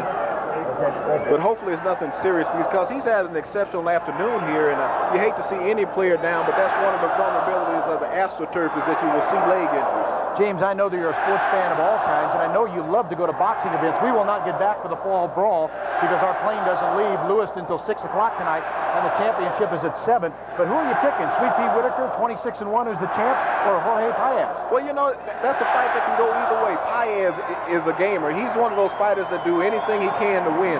Pernell Whitaker, one of the more pure boxers of the sport. He, he is a showman when he's in the ring. He's a tactical fighter. Paez is what you want to call one of those guys who hit you with everything, the elbows and all. He comes with every kind of antic.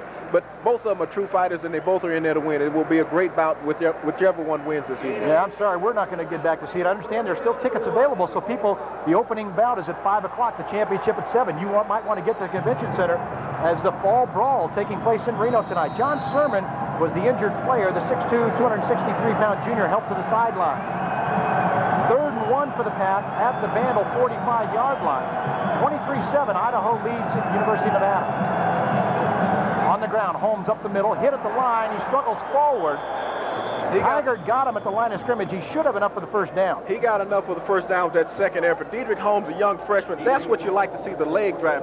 He was hit right at the line of scrimmage, but Dedrick Holmes reloaded his legs and got another surge out of him and should have had enough for the first down. The officials brought that back. A little poor on the spot, but they did give him the first down. That's what the Wolfpack has to do. They have to get those surges. They have to be consistent. In tough situations, they have to come up with the big play. The clock now with 3.50 and started back in motion on the first down. It's not an enemy of the Wolfpack, but it's certainly not an ally here late in the second quarter. They must come up with something here. They need some more points on the scoreboard, the University of Nevada, here in the first half. Gatlin with three wide receivers left. Has not gone to his tight end. Benning's in the pattern. He goes there. A completion of Benning at the 35, at the 30, at the 29-yard line. James, I just didn't have enough time to say it, but I knew they were going to look for Benning soon. Well, Scott Benning is the weapon last year that killed the Vandals when they played. He was the player who came up with the big catch at the end of the game, last play of the game, forced the game in overtime. Scott Benning, from his tight end formation on the right side of the formation, went down, ran a set route about 10 yards off the formation, opened in the seam of the zone. Gatlin found him for the first down. At the 29 of Idaho, Gatlin again to throw. Looking right side for Reeves. On a turn, he's got it and out of bounds. He'll be go out at about the 17. all kinds of room being given by Brandon Millsap on that right defensive side. Idaho is settled back in a two-deep zone, which allows the Wolfpack to throw the underneath patterns. And that's what happened that time, is Gatlin sent Reeves out on an out pattern about 12 yards down off the formation. Reeves did a great square out, ran a precision route. Gatlin threw a strike to him. The Freddie Gatlin that you expect to see in the pocket. This time on first down, they'll send three wide receivers left. Again, Gatlin on a delay to Holmes, running up the middle. He spins. He's still on his feet. He'll get close to the 10-yard line before they gang tackle him and push him down. What the Wolfpack is doing right now is going on a quick count. The last three plays in this series, they've gone on a quick count. They've gotten a rhythm cadence. Freddie Gatlin is very predictable once he gets in, into the flow of a game. Now the Pack coaching staff has him going on a quick count the last three plays, and they picked up excellent yardage. They've got Washington in the lineup now for Holmes. Keith Washington played a little bit earlier. Singleton draws single coverage to the right side. Reeves is in the slot left. Gatlin at second and four at the 11-yard line, straight back to throw. Looking over the middle, completes at the five-yard line. We have a flag down as the ball was thrown in the area where it may draw holding for the Wolfpack. Let's gonna, find out. We're going to get a holding penalty on the middle of the Wolfpack offensive line. They seem to be locked up. One of the defensive linemen, Matt Goshong, the nose guard for the University of Idaho, had come straight up the middle, and, and the Wolfpack had nothing to do but to hold him. And it, I think it was might have been the left guard that got tied up with him, Alan Maxwell, because he had put a tremendous job of rush right up the middle, and uh, Brian Reeves made a great reception at the five, but all for not, that one's going to be brought back. James, they have moved Maxwell. They've got Werbeckis on the left side and Branca on the right side, flanking Mitch Baker, the center. It will be a hold. No, they came from the left side of the offensive line, so, line, so that was Tommy Rebecca's who's moved in at Maxwell's left guard position. That'll cost the Pack 10. The line of scrimmage was the 11. holding by the offense. Yeah, it was the 11. They marked it back to the 23. I'm not sure I understand that. Well, they generally call it from the position of the hold and where he was standing on the, line, the position right. of the field, and that's where they mark it off from. So that's the reason why the ball is being brought back to the 23. It'll be second and 14, Wolfpack. 23 to 7 is our score in case you joined us late here on our simulcast on the Wolfpack Radio Network or on KRNV in Reno. Clock moving with 2.15 to go here in the second quarter. Gatlin looking over the defense. Will go back to throw. Good protection over the middle. Throws to his tight end, Benning. Benning banged down at about the 15. You know, I've really been impressed with Monk, the linebacker for Idaho. He has been all over the field, very active in the pass and the run defense this afternoon for the Vandals defense. That time he brought Benning down. Benning has been open for the most part of the afternoon. They've gone to him here in this last series a couple times, but he has been open. He is a weapon that could be a very integral part of the rest of this contest this afternoon. Well, the decibel level here at the Kibbie Dome goes up, so that'll tell you it is third down, third and eight for the Pack at the Vandal 15-yard line. Again, Gatlin to throw steps up. He's going to be sacked back near the 20-yard line. They got across to him. Jeff Robinson with a giant defensive play. Jeff Robinson all afternoon has been after Freddie Gatlin. Tony Edwards has to find a way to keep him off that corner. He has done a tremendous job around in the corner from his left defensive end position. They have not been able to get him down. He came, he rounded the corner, very deep drop by Freddie Gatlin. Robinson came all the way around, sort of like Greg Haugen of Boise State did last year against the Pack, but that time was coverage sack by the secondary. Schwendinger will try a field goal from the 27, add 10 to the end zone, a 37-yard attempt. It is straight on. It is down. Dinger has it up. It's long enough, end over end, and it is good. So the Wolfpack has tacked on three more. With 47 seconds left to go before halftime, Idaho is on top, 23 to 10. Very desperately needed points by the Wolfpack. They needed to get a touchdown out of it. University of Nevada has not been steady all year, but Schwendinger with a great stroke that time, placement on the turf, very easy for a kicker to kick off the natural surface. You don't have the give of grass where you might slip or anything, and he nailed that one right through the middle of the uprights. The Dinger this year is 9 of 10 in field goal attempts, and uh, you just can't get much better. No, he's at... If you made the other one, of course, it would be 100%, but uh, you don't have 100% accuracy all the time. 90% for a kicker on field goals is very, very accepted by any coaching staff. And to be the big question mark coming into the season, who was going to be the kicker? Schwendinger did not step forward to the last week prior to the season, but has done an exceptional job since winning the job. Well, the Dinger, who just converted the field goal, will kick off. Idaho with their defensive unit at the 50-yard line, lining up. Uh, it isn't a time where you try something funny and go onside. You just put it as deep as you can. You get it as deep as you can because with 47 seconds left in the first half, you don't want to give Idaho another opportunity to score here in the first half. You have to get the ball deep in their territory, hold them down defensively, regroup, come out for the second half. Nevada's going to get the ball at the start of the second half. Maybe they can settle their offense in the halftime, get back on track what their original game plan was, get all this intimidation factor and the of being in the Kibbie Dome here this afternoon out of the way. The thing for Idaho, they have not turned it over in the first half, and that's been a critical factor. The they, Wolfpack gave up a touchdown on a turnover. They played a solid first half of defense. John L. Smith has to feel very proud of his troops the way they performed here in the first half. Ronnie White, along with Saunders, will be deep. As Schwendinger again will do the honors. End over end. It'll come short to White at the seven-yard line, coming left side. At the 20. White steps behind a thought, behind a tackle. He's over the 30, 35, 40, and finally spun down by Irvin Cutright at the 41-yard line. What a return by Ronnie White. Ronnie White bounced off several tacklers that time on that return. Great field position for this potent Idaho offensive attack. Ronnie White received the ball on a short kickoff from Schwendinger, didn't get it deep, round about the 10-yard line, came up the left side of the formation, got a couple of tremendous blocks in, in the wall right there, missed a couple of tackles, cut back inside. The Wolfpack very shoveling tackling on their specialty teams that have been so potent all year long. 34-yard return. Let's see if Nussmeier wants more if he goes deep right away. Three-step drop, looking right side, still looking, throwing. Uh, diving catch by Alima Daly.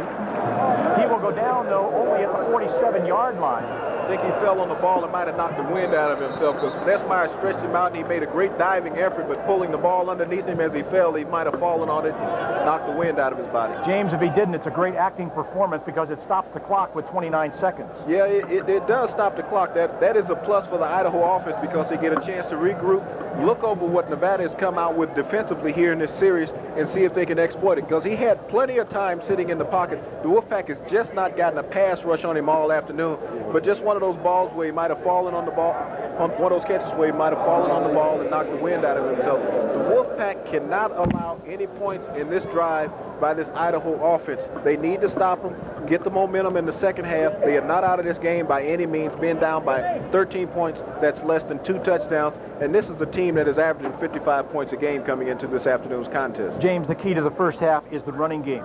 The passing is almost dead even. Idaho has thrown for 117 yards and Nevada for 140 yards. So it's a, a, little bit better for the Wolfpack. But the running game, Idaho has run for a total of 154 yards. The Wolfpack for just 24. And Idaho came into this game only averaging 126 yards a game rushing. And here they have 154 in the first half. Very unaccustomed for their offense to be so potent on the ground. Devin Pierce had 72 in the first quarter. Nussmeier will throw throwing along the sideline for Dunn. He may have thrown it away. They had bracketed Dunn. Xavier Carey was the deep man. The, the underneath man was Brock Marion and it was a tough throw for Nussmeier. He may have thrown it away to stop the clock. Well, this secondary had a lot to prove after coming here three years ago as freshmen and being picked apart by John Friesz. John Friesz played every down that he played against him and probably was recognized as the greatest quarterback to play in the Big Sky, but he was one of those quarterbacks that played every down. It's time for redemption here for the Wolfpack secondary. Three wide receivers left on the ground. They go up the middle. That is, is it White or Pierce? It is Pierce who will get it across midfield to the Wolfpack 49-yard line. A little short of the first down uh, and they're stopping the clock. With nine seconds to go, gives us a chance to remind our simulcast audience that on the radio side, stay with us. We'll be giving away a trip to Palm Springs during halftime. And on the television side, we'll be going back to Kurt Sieglin and Mike McComb in Reno. So stick around. It's a lot of halftime wherever you're listening or viewing the Wolfpack football. Well, they came with a simple draw play that last time, something that's been very effective against the Wolfpack. Because in their rush lane, the defensive linemen have been going to the outside. They've been leaving the middle open, expecting the linebacker to be able to stop the run, but they've been able to get one of the offensive linemen off on Matt Clafton for a good part of the first half. They're going to have to find a way to play some gap cancellation in the second half and not allow the linebackers on Matt Clafton if they expect to stop the running game because Matt has been steady all year, but they've given up so many yards on the ground here in the first half, they have to find a way to stop that in the second. The other thing, James, uh, we're watching Nussmeier last year and again this year, going deep is not one of his fortes. Now, with nine seconds left to go, maybe he wants to go off top and get a touchdown or get something in field goal range, but he floats it when he goes deep. He is more of a possession passer. He is not a home passer where he can hump the ball downfield. He does not have the arm of a Freddie Gatlin nor Chris Vargas. Both of those guys can thread the ball any place on the field. He likes to throw a lot of outs in his scheme. At midfield, Nussmeier drops. Now he will draw and run. The quarterback draw will slide down at the 44-yard line, trying to stop the clock or get a reset. The clock is stopped with four. I'm not sure why. Did he make the first down? He got the first down on that. And uh, on college football, the clock automatically stops when the ball is down on the first down. Now they're going to call a timeout and try to regroup for this one last play here in the half. With four seconds left to go, that's what they will do. Again, at halftime, we'll go back to Kurt Siegelen in Reno on KRNV. In uh, our halftime show, we'll have a news and sports update for you, and you could win a trip to Palm Springs. The Three nights and four days. James, can I go with you if you win? Palm Springs, uh, where is that, in the desert? Sure. You probably need to work on your team. I probably do. So the Vandals trying to come up with one big play. They lead by 13 and about to go into halftime with only four ticks of the clock remaining. James, do you go deep?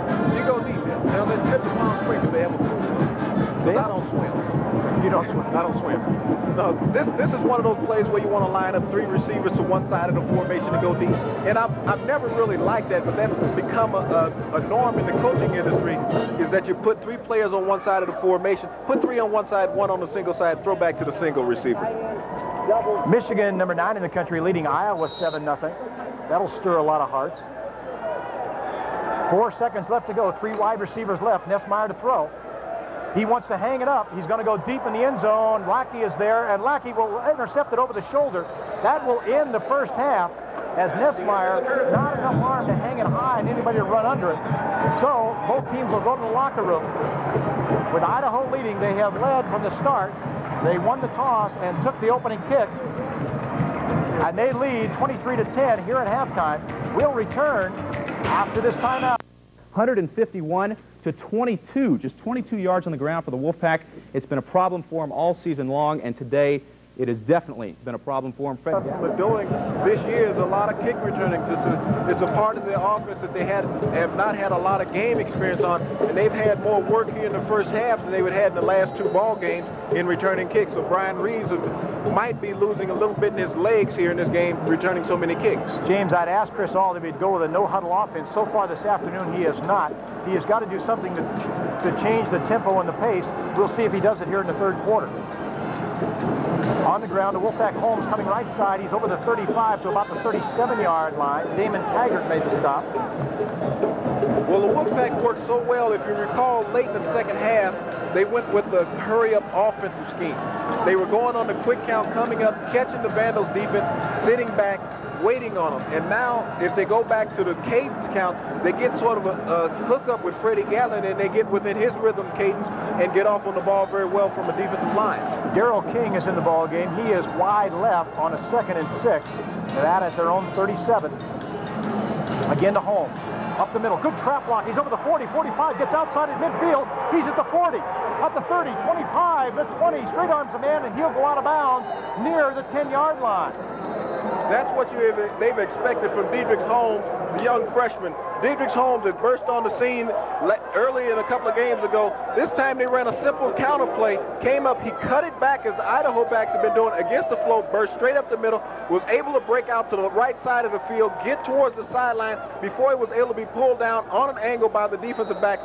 Great explosion by Dedrick Holmes. They need more big plays like that the Nevada Wolfpack's offense does. The team seems to be fired up on the sideline now. A 50-yard run by Holmes. Millsap made the stop. Nevada with two tight ends in their offense.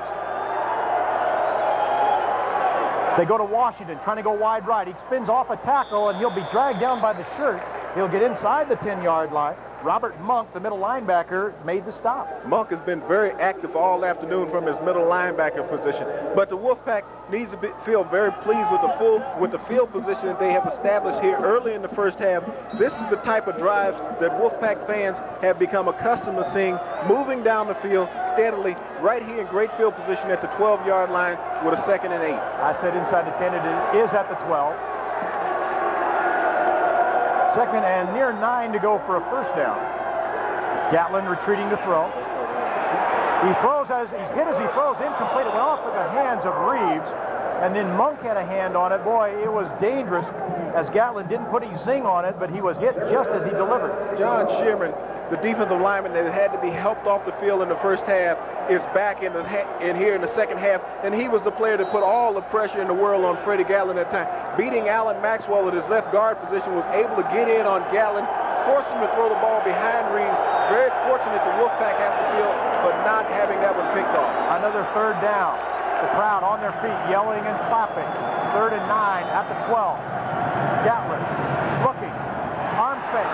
He's bounced around. He rolls out right, looking to throw back at the 30. Still scrambling. He throws in the end zone. It is complete. Touchdown, Joe King. What a play. And look, a flag has just gone down. But it's a dead ball foul. It's after the touchdown. Fred Gatlin with an amazing right arm hung it up and hung it long for Joe King.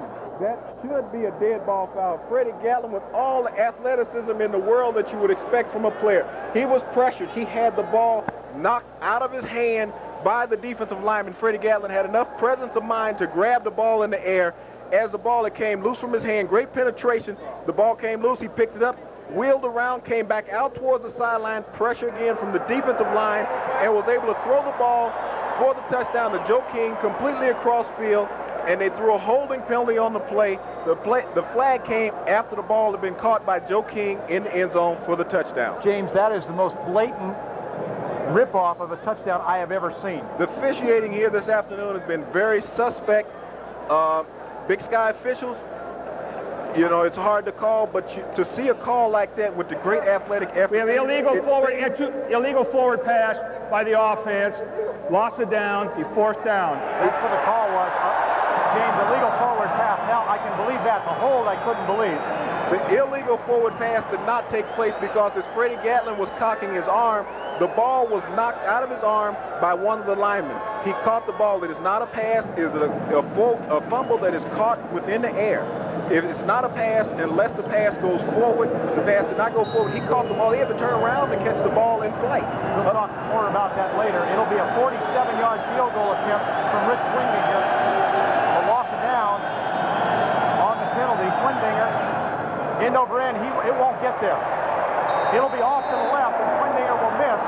With 13.06 to go, Idaho will take over the ball. They will take over, and Idaho leads 23 to 10. So the Vandals will trot back on the field, but James, you can't say enough about the throw by Fred Gatlin. He came out, he was hit as he threw it. The, the, power of his right arm to go across field. First of all, you don't you tell a quarterback never to throw that ball, and yet he got it to Joe King. Well, to call an illegal forward pass on it when the ball has not gone forward, it's gone behind the quarterback is a very questionable call from the officials. We'll try to sort that out for you. We'll find out more information later if we can. Idaho at their own 31st and 10. Nussmeier goes on the ground. That is Ronnie White. He gets back to the line of scrimmage. That's all. Nick Harker made the stop on him. But Roger Pelham and uh, Joe Caspers were in the backfield looking for the running back. Tremendous hit that time by Nick Harker, stepping him up from his outside linebacker position to stop Ronnie White before he could really get rolling for about a half-yard gain on the play. The defense really needs to step to the forefront right here. They were pretty riddled in the first half. They need to make their presence shown here early in the second. So no gain on the carry by White. Second and 10, still at their 30-yard line. The motion man is Casey Dunn. Nussmeier gives to White in the backfield. He's grabbed by Kaspers. Caspers was just sorting out offensive linemen. He was pushing him one way and the other, looking for the ball carrier. Then he found White. Joe Caspers that time did what you're supposed to do against a counteraction. Not look for the crackback block, but get off between the middle of the lineman, make some disruption in the backfield. He knocked the offensive lineman back into White in the backfield, and by the time he got through throwing offensive lineman aside, he was able to bring White down for a three-yard loss on the play. That's interesting. We have a Montana Eastern Washington score at three all. It was seven to nothing at one time. Nussmeier looking to throw right side on the comeback. Oh, it's knocked away by Lackey at the last second. But Richardson was open across the way at the 40-yard line, and Lackey reaching out an arm either deflected or got it out of the line of sight of Richardson because he couldn't hang on. Looked like Lackey might have been taking, taking that one back the other way. Nussmeier has to feel very fortunate that he didn't have that one picked off because Lackey made a tremendous jump on the ball, and Nussmeier does not have a strong arm when throwing that out pattern. Idaho State uh, really rolling this afternoon. They're on top of NAU. Reeves runs forward at the 36 to take the punt, starts upfield to 40, bouncing outside, and finally dragged down at the 42-yard line. Great one-arm tackle that time by uh, Brian Walmsley, the line, uh, reserve linebacker on Reeves in open field. 23 to 10. We are still in the third quarter with a lot of time remaining, 11:39. Our score the same as it was at halftime. Idaho leading 23 to 10. Nevada missing a 47-yard field goal attempt. The Atlanta Braves are the champions of the NL West teams. They came from the bottom just like the Minnesota Twins did. Great for sports and athletics. Uh, professional baseball is at an all-time high with the Braves. Gatlin to throw on first down. Looking wide open. Benning, the tight end at the 40 of the Vandals, breaks a tackle, and he'll go down at the 31. Scott Benning ran through the tackle of Millsap, and Monk had to get back to finally bring him down. An identical play to, as similar as the one in the first half was Scott Benning in the right formation of the offense. He makes a short initial block, and he comes straight down the seam in the zone, finds an open spot. Gatlin spots him on the sideline, and Scott Benning turns it up to pick up an extra seven yards after making the reception. James, the key thing is Fred Gatlin had looked left, and the last second turned and looked at Benning. And the offensive line also gave him time. At the 32-yard line of Idaho, Nevada with the ball. First down. Holmes gets a call, trying to go left. Gets outside at the 30. Duke's man goes inside, and he'll be inside the 20 before being knocked out of bounds at about the 19. Dedrick Holmes is right now stepping to the forefront in the Nevada running game. Dedrick Holmes did an exceptional job running the counter trap that time, dipping inside, breaking that back to the outside, able to turn the corner. Great job of blocking outside by the receivers. Almost a clip, but Brian Reeves pulled off, let the defensive back make his own mistake, allowing Dedrick Holmes to get to the outside down to the 19-yard line for the first down. Holmes with seven carries and 80 yards this afternoon. Great outing for the freshman. Joe King is the wide man to the right side.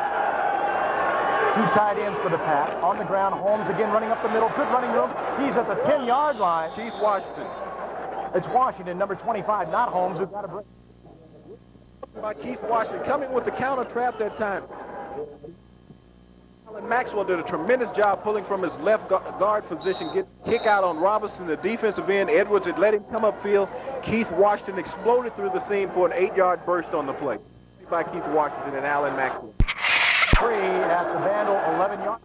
The Pack has had one touchdown taken away this afternoon here in the third quarter. Comes back right. He drags Robinson with him. Six-yard line. Jeff Robinson from behind making the stop. Keith should have enough for the first down. Keith burst out on the scene a couple weeks ago in his first game with the Wolfpack, scoring two touchdowns in his first game back after being slowed at the start of the season by injuries. The last two runs by Keith Washington have been very exceptional. This last one, a power run straight up the middle to get the first down. He comes to the sideline, and Holmes is back in. First and goal for the Wolfpack from the six-yard line. Bursting on the right side. He'll get inside the five to maybe the four-yard line. Mitch Baker was over there to try to pin a man inside. Helping him out with the block. We'll get it to the four, James. What the Wolfpack has done on this drive also is kept the ball away from the Idaho offense. They're sitting on the sideline. They're getting cool, and they're working the defense. They're pushing them downfield. They have not spent this much time on the field in any series this afternoon. Well, Ron Stevenson, the commissioner, said it during halftime. We were talking to him. He thought the Wolfpack team was wearing down the Vandals. He may be very right. They're just coming out playing good, hard-nosed, smash-face football here in the second half. Goal to go from the four-yard line. King, the wide man right. Reeves is in the slot. Holmes will get the call. Trying to turn the corner right. At the five, he's grabbed, and he's run out of bounds.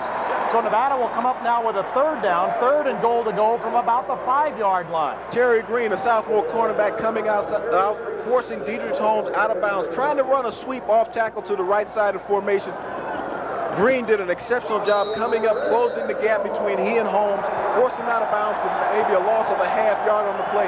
Puts the Wolfpack in a third and five on the five. Need the big play here. The Wolfpack needs points desperately right here. They need to get it within a touchdown.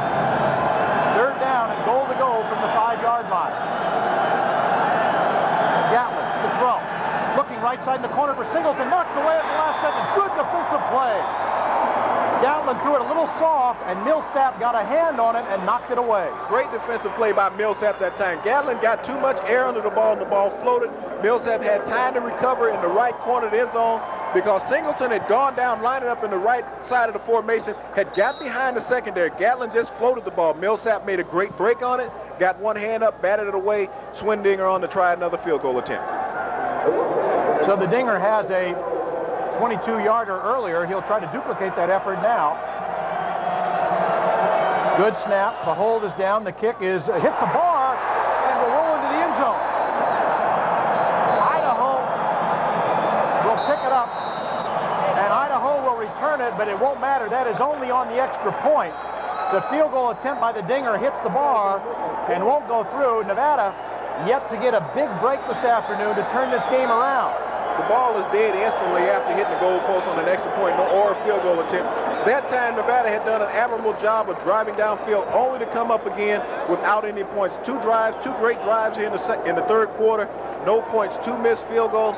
Right now, the Wolfpack has to feel a little snake bitten here. Defensively, they cannot let down. They have to keep playing strong football on the defensive side. James, in every game, the teams get a swing of momentum. It goes both ways. The Pack has yet to firmly establish theirs this afternoon. They have to stay aggressive, though. Nussmeier from his 20-yard line, looking, throws left side, complete to Murphy. Murphy is out of bounds at the 31. And we got a late flag. I think we're going to get a tripping call on the offensive line here.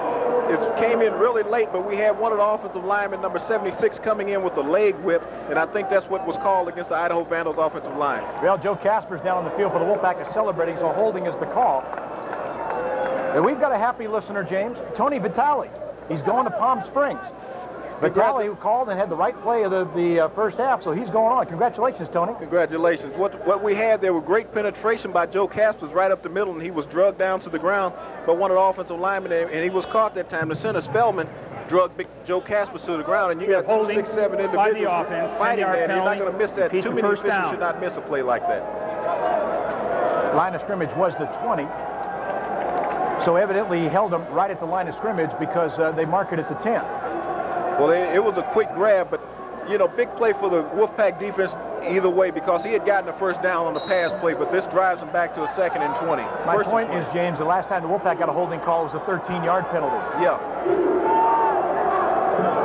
First and 20 at the 10-yard line, their own 20, or their own 10. On the option, the pitch to White running wide right. He cuts back and will be banged forward to near the 14-yard line. White was actually hit about the 11, but the pursuit of the Wolfpack knocked him forward to the 14. Well, great great ground coverage that time by the Wolfpack defense interior. They pursued inside out very well. Turn in very good that time by the cornerback. Brock Marion, exceptional job of coming up, forcing White to cut back inside. The pursuit from the back end with Matt Clafton leading the charge was able to bring him down for a minimal gain on the play. It's close to five, so it'll be second and near 15 to go for a first down. At their own 15, Nussmeier all the way at quarterback. Fakes the dive. He rolls, looks, throws over the middle. It's dropped by Dunn. It was behind Casey Dunn. And he couldn't hang on as Nussmeier really, that was the hardest ball he's thrown all afternoon. But James, what's, it looks apparent to me, and I, I'm not sure, but Brock Marion I think has been beating, he's been beaten all afternoon by Casey Dunn. He's been chasing Casey Dunn all afternoon. That time Casey Dunn had read him on a slant route to the inside. Brock is locking on to the too much, the quarterback, watching his eyes around field. But and Casey Dunn has just been running free, and that time he ran free. If not for the bad pass by Nussmeier, would have been another completion right there. Nussmeier has gone soft, James. He's only completed one of the last nine, and that was good for just six yards. Well, Brock has been in a situation all year where he really hasn't been challenged. Last year he had kind of a rough season. He had a decent season, not the greatest. This year people have looked away from him. This is his first true challenge all year, and he has not come to the call yet. He is going to have to step to the forefront. He's great against the run here this afternoon, but he's been beaten bad a couple of times in pass routes. The Wolfpack came in with a plus nine in turnovers. They gave it up by interception. That cost them a touchdown. They intercepted once, but it was the end of the first half, and it meant nothing. Murphy will come wide left. Richardson is wide to the right side. Lackey, the guy who got the interception, is guarding him. Nussmeier will throw underneath. That is complete. Near the 20-yard line, Dunn will get it all the way out to about the 25. Going to be five yards short of the first down. Three of nine on third down conversions going into that play and being stopped short. The Wolfpack defense still has that surge that they came out with here in the second half. You know, Idaho is dropping back, trying to throw the short underneath pass, hoping that Dunn can get some open room to run around. That time he tried to cut back underneath and let the pursuit over pursue, but the Wolfpack was able to break down and bring him down five yards short of the first down. Tom Sugg, who had a giant punt in the first half, is back to do it again. This one a low kick. Reeves comes forward, then takes it over the shoulder, looking to run, and now turns it outside and will go down just about where he caught it, the 37 or 8 yard line. Sugg earlier had had a 61-yard punt. That one good for 39 yards. Idaho leads 23-10. We'll be back. Ball game, and the Wolfpack hasn't had a lot to yell about here in the second half, but there is still plenty of time, and they have proven that they've been able to move the ball, especially here in the second half on the ground. But they need to put it in the end zone. Just moving it up and down the field between the 20s is not going to do you any good. No, it isn't. Gatlin will throw on first down. Has time. Throws it perfectly thrown, complete to Brian Reeves, and he's hit immediately at the 48-yard line. But Gatlin had some touch on that ball. The Wolfpack has found something in, in, the, in the secondary of the Vandals. They've been able to come down the right side of the formation and sit about 15 yards off the line of scrimmage. This time with Brian Reeves, very good call by the officials, not called him out of bounds on their reception, uh, and find an opening. And Scott Benning has been there a couple times, and now Brian Reeves. They need to keep looking at that. Notice the protection, James, the offensive front is giving uh, Gatlin here in the second half. Well, they've gone max protection with the two tight ends. Wide receivers on both sides. Flag is down. Gatlin throws over the middle, complete to the tight end, Benning. Benning looking for running room is dragged down at the 37-yard line. We got a flag at the line of scrimmage. Somebody was offsides. I think Reeves left a little too soon. But great play that time by Scott Benning. It's on the Vandals.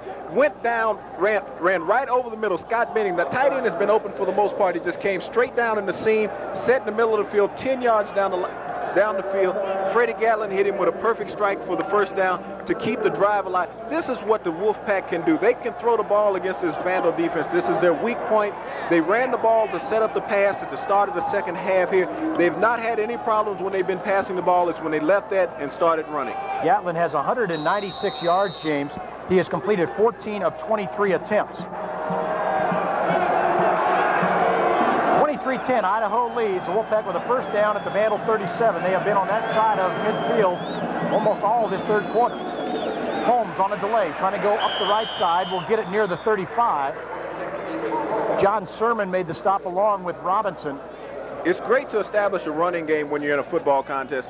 But what the Wolfpack has done all well all this season is pass the ball, and it's what they've done well here at the start of the second half. They've come out and they've thrown the ball freely. Idaho has had problems defensing. If they're sitting back in a two-deep zone where the underneath routes are open, everything in, within the 7 to 12-yard range has been wide open for the Wolfpack. They have to keep exploiting that. On a second and eight, Washington back in the backfield for Holmes, who gets a breather. Reeves is wide right. King is left. Again, Gatlin to throw. Looking for Reeves. He can't grab it in the crowd. Reeves had gone down and run a post pattern at about the 15-yard line. Gatlin put some mustard on it, and Reeves just couldn't come up with it. Gatlin tried to force that one a little bit. The Vandals came out with double coverage on Reeves, who had lined up in the right side of the formation, and had gone down to run a slant pattern about 15 yards downfield.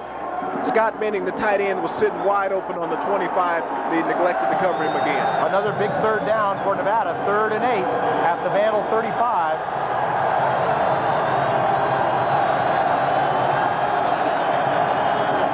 Gatlin to throw, protection, steps up in the pocket, throws complete to Joe King, who turns and goes to the 20-yard line. King, a little hook down in the middle, found a seam, and Damon Taggart had to come back and make the stop. Joe King did an exceptional job that time lining up in the left side of the formation. Went down, Freddie Gatlin looked him off, then looked back to the right. Freddie, uh, Joe King had come in and run that little button hook. Buster Hickman had grabbed him around the ankles because he had broke that one back to the outside and might have got into the end zone. Nevada converts a third down at the 20 of Idaho. It's first and 10. On the ground, Washington looking left. He's tripped up and he'll fall short of the 20-yard line. The ball, the ball may get to the 20, but that's all. Kyle Russell inserted as a backup defensive line that time, got in a, a hand on Keith Washington's ankle, but the Wolfpack has done a tremendous job in throwing the football. Then they keep trying to come back with the passing game. They're not going to try to confuse the Idaho defense that much. Nevada has to stick with what they do well, and what they do well this year is pass the football. Washington lost a yard. Yeah, they call it right at the 10, but that's a generous spot because he really went down at the 11-yard line. Gatlin retreats the throw, looking right side, throws over the middle, almost intercepted. I thought it was going to be picked off. Gatlin hung it up. He wanted Reeves to go up and get it, but they had double coverage on him.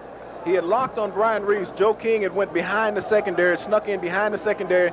They ran a dual formation receivers from the right side. Joe King had got behind the secondary. Freddie Gatlin had locked in on Brian Reeves. Just a very poor play execution by Freddie Gatlin. They're going to have to come up with a big play here on third down. They need to look at the tight end over the middle. He will be wide open. Clock stopped with 5.08 to go. Fred Gatlin has been running more this year than in previous years. I wonder if they have the quarterback draw in. King is the wide man right. Gatlin retreats the throw. Steps up, throws a bullet, complete at the 10-yard line. King still fighting for yardage, and they stand him up. He never does go down. Now, finally, Millsap throws him down, but I don't see a flag. Well, he made it to the nine, which he has enough for the first down on the play. But the officials have to step in and break that up. They're, they're, they're blowing the whistles and allowing them to be aggressive defensively. Freddie Gatlin with a great strike.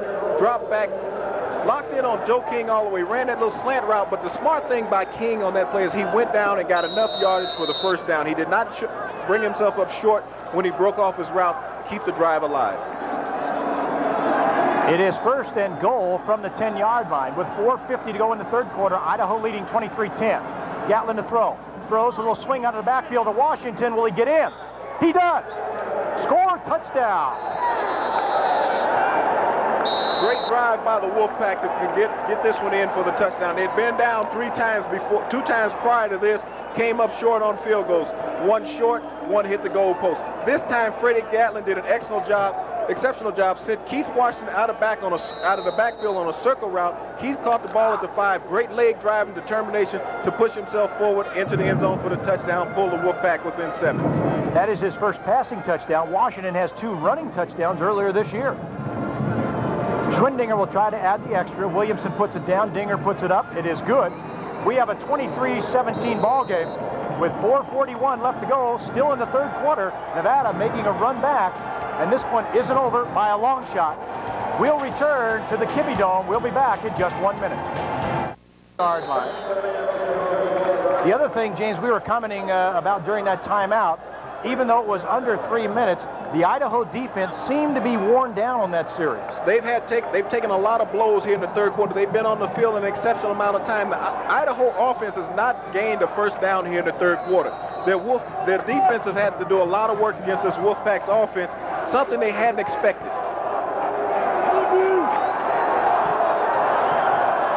Devin Pierce is the wide receiver left with a no-back backfield. Three wide receivers right at their 25-yard line. Nussmeier will throw. Throwing a fly.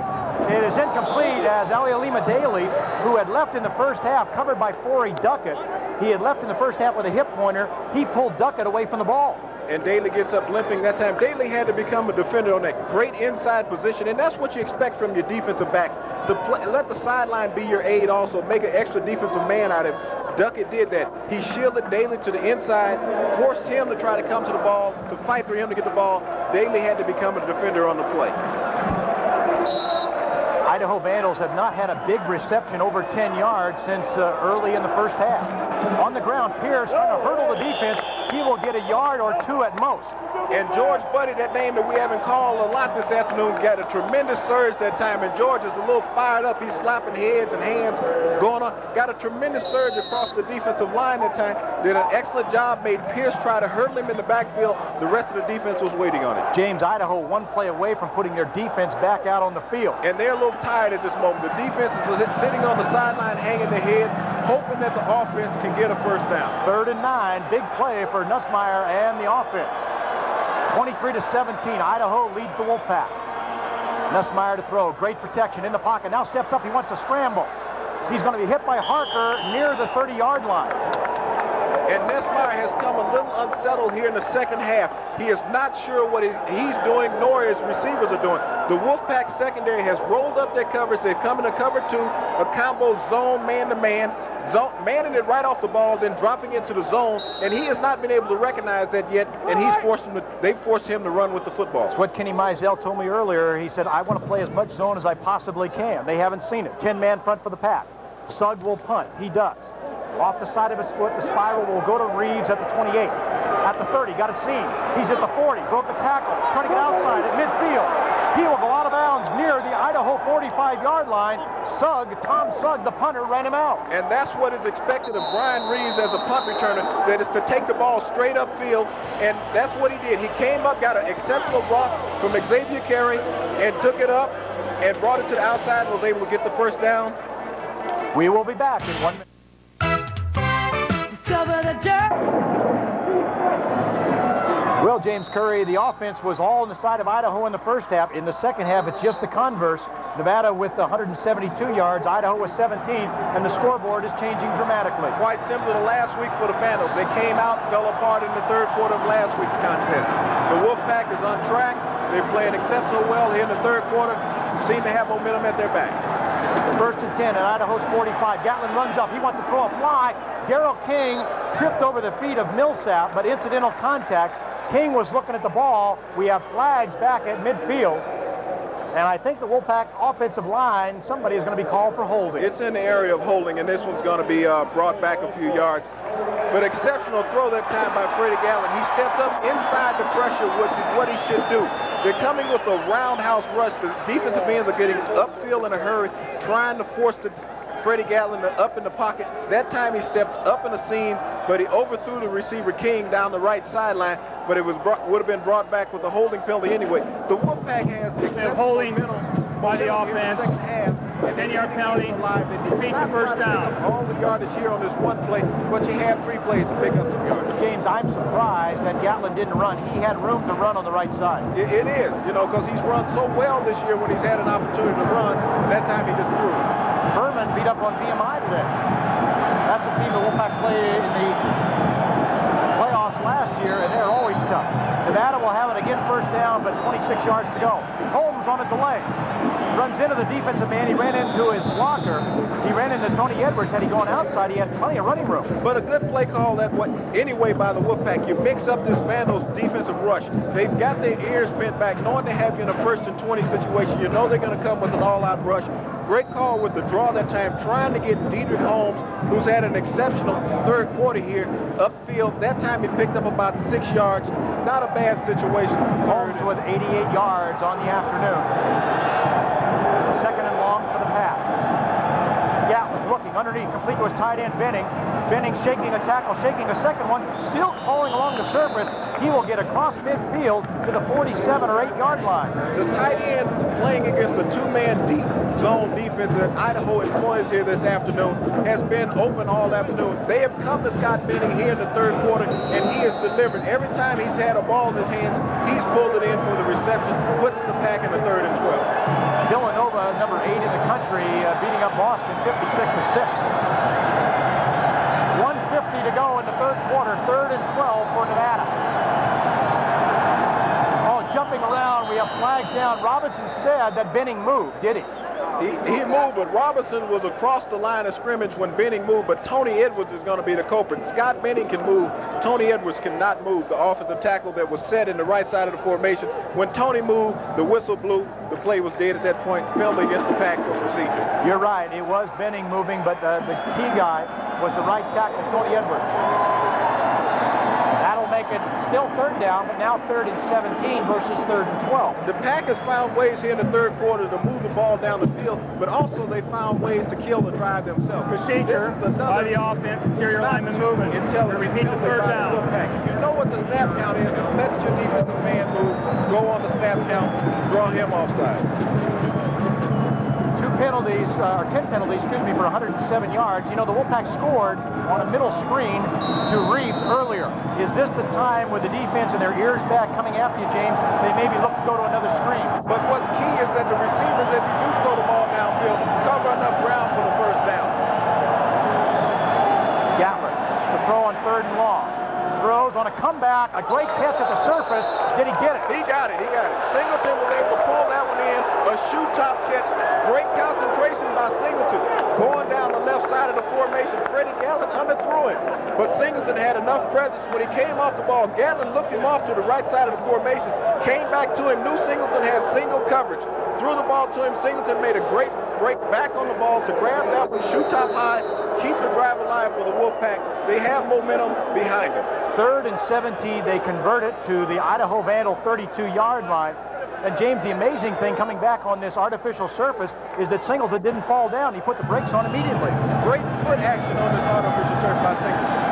Fred Gatlin is now two, number two in all-time passing yardage. Holmes coming right side, turns a corner and turns on the burner. He'll get in the of 25 to the 24-yard line. Dedrick Holmes, very explosive. The Wolfpack runs this play very well. It's called a counter trap. Well, they'll pull the offside of the offensive formation, the backside offensive lineman, get him around the corner. That time they did an exceptional job of knocking the defensive lineman off their feet, allowing Dedrick Holmes, freshman out of Richmond, California, to get around the corner to pick up eight yards on first down. The team that beat uh, Idaho last week Northern Iowa shut out their opponent, Morgan State, 49-0 today. 30 seconds to go in the third quarter. Second and a yard. Gatlin to throw. Wide open, Benning tight and overthrown incomplete. That'll stop the clock with 24 seconds. But let me again emphasize the fact that Fred Gatlin has now gone into the number two position in career passing ahead of Jeff Tisdale. He needed 256 yards to pass Tiz. So far this afternoon, he's got 262.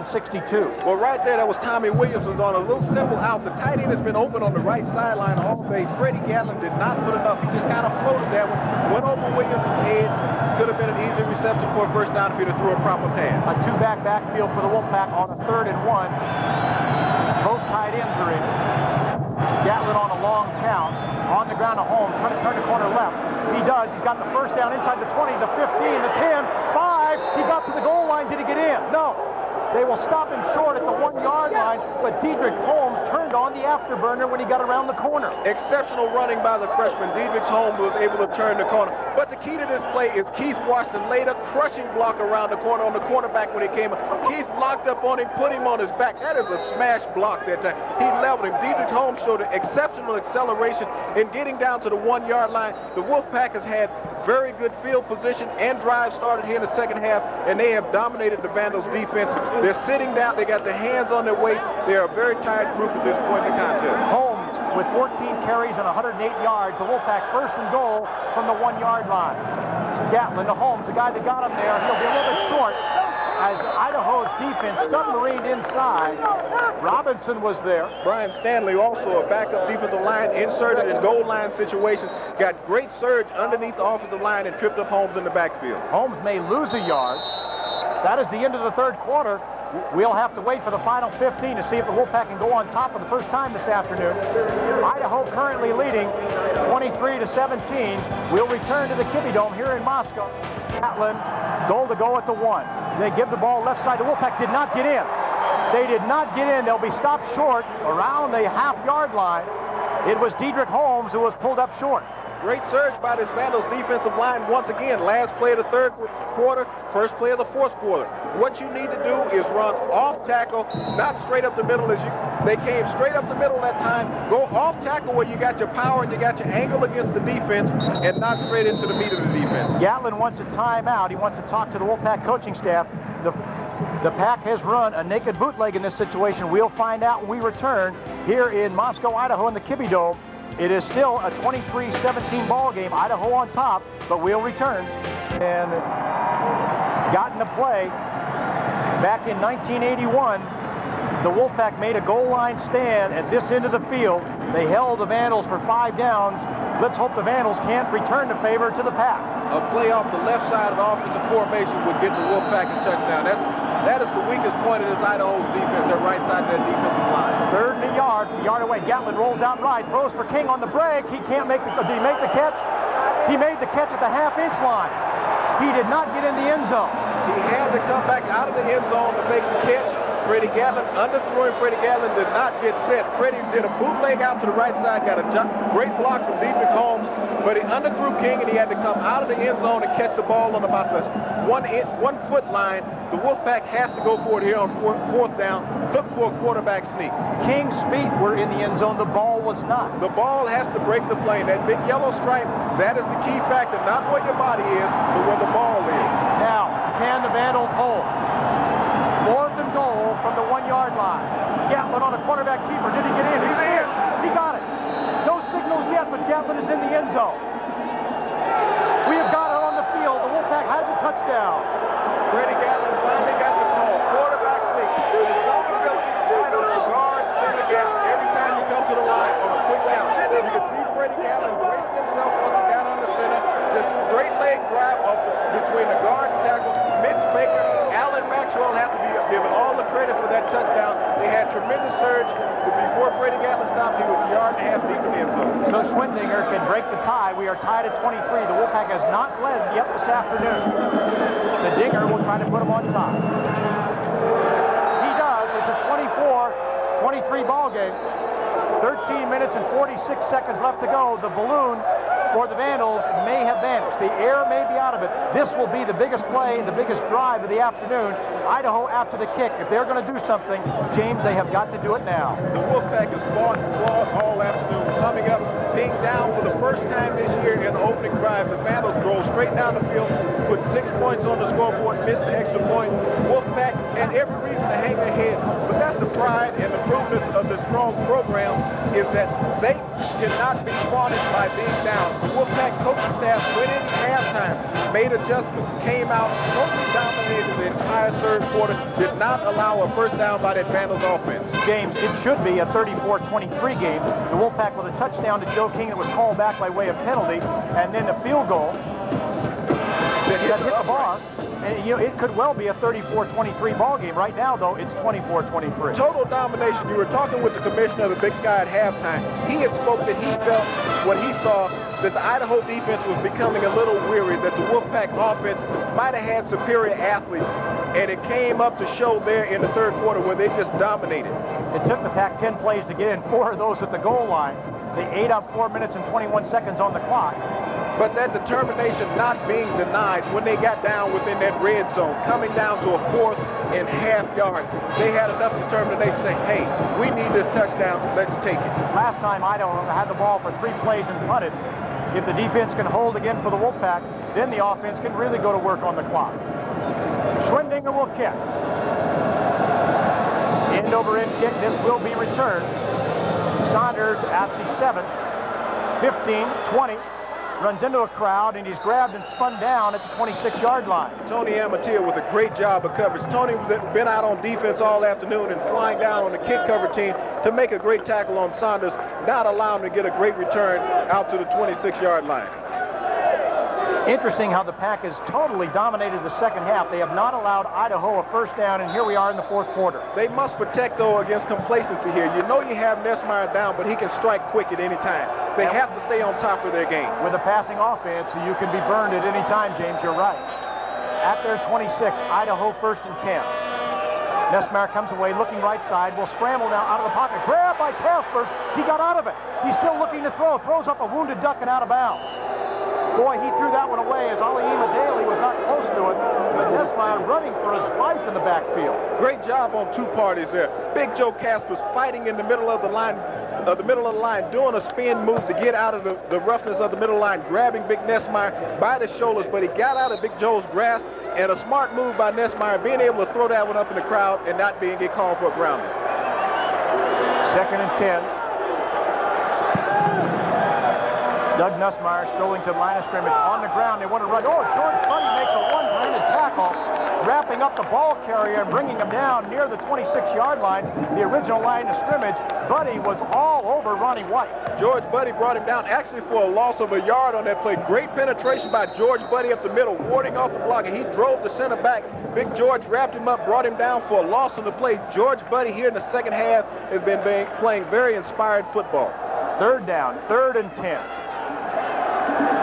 Idaho has got to go in their bag of tricks somewhere and come up with something big at their own 26-yard line. They need something exceptional right here. Nussmeier to throw. He's getting pressure. He's going to grab and sack. Mike Rogers got in. Rogers breaking through the middle makes the big play defensively for the Wolfpack here early in the fourth quarter. The defense has just been playing outstanding this part of the game. They came with a twist stunt. Mike Rogers did a fold inside, came around clean, grabbed Doug Nussmeier, grabbed him to the ground for a loss of 12 on the play. The Wolfpack defense has come up big on every series here in the second half. That's how you become second rank in the country on defense. Sugg trying to get him out of trouble with a punt. Spirals it high for Reeves. Reeves running to the right side at the 45, comes back at midfield. The 45 of the Vandals, he'll go down at the 41-yard line. Reeves could have very easily run out of bounds. We have 12-13 left to go in the game. Nevada with a one-point lead. They'll have the ball when we return in one minute. And 24-23, we talked about the last series of downs for the Vandals being crucial. Now the Wolfpack must maintain possession and go down and get a score. This is where the Wolfpack has to learn how to put a team away. They are 41 yards away from a score. Gatlin rolling out right in the bootleg, throws to wide open Joe King at the 30. At the 25, he is pushed down near the 21-yard line.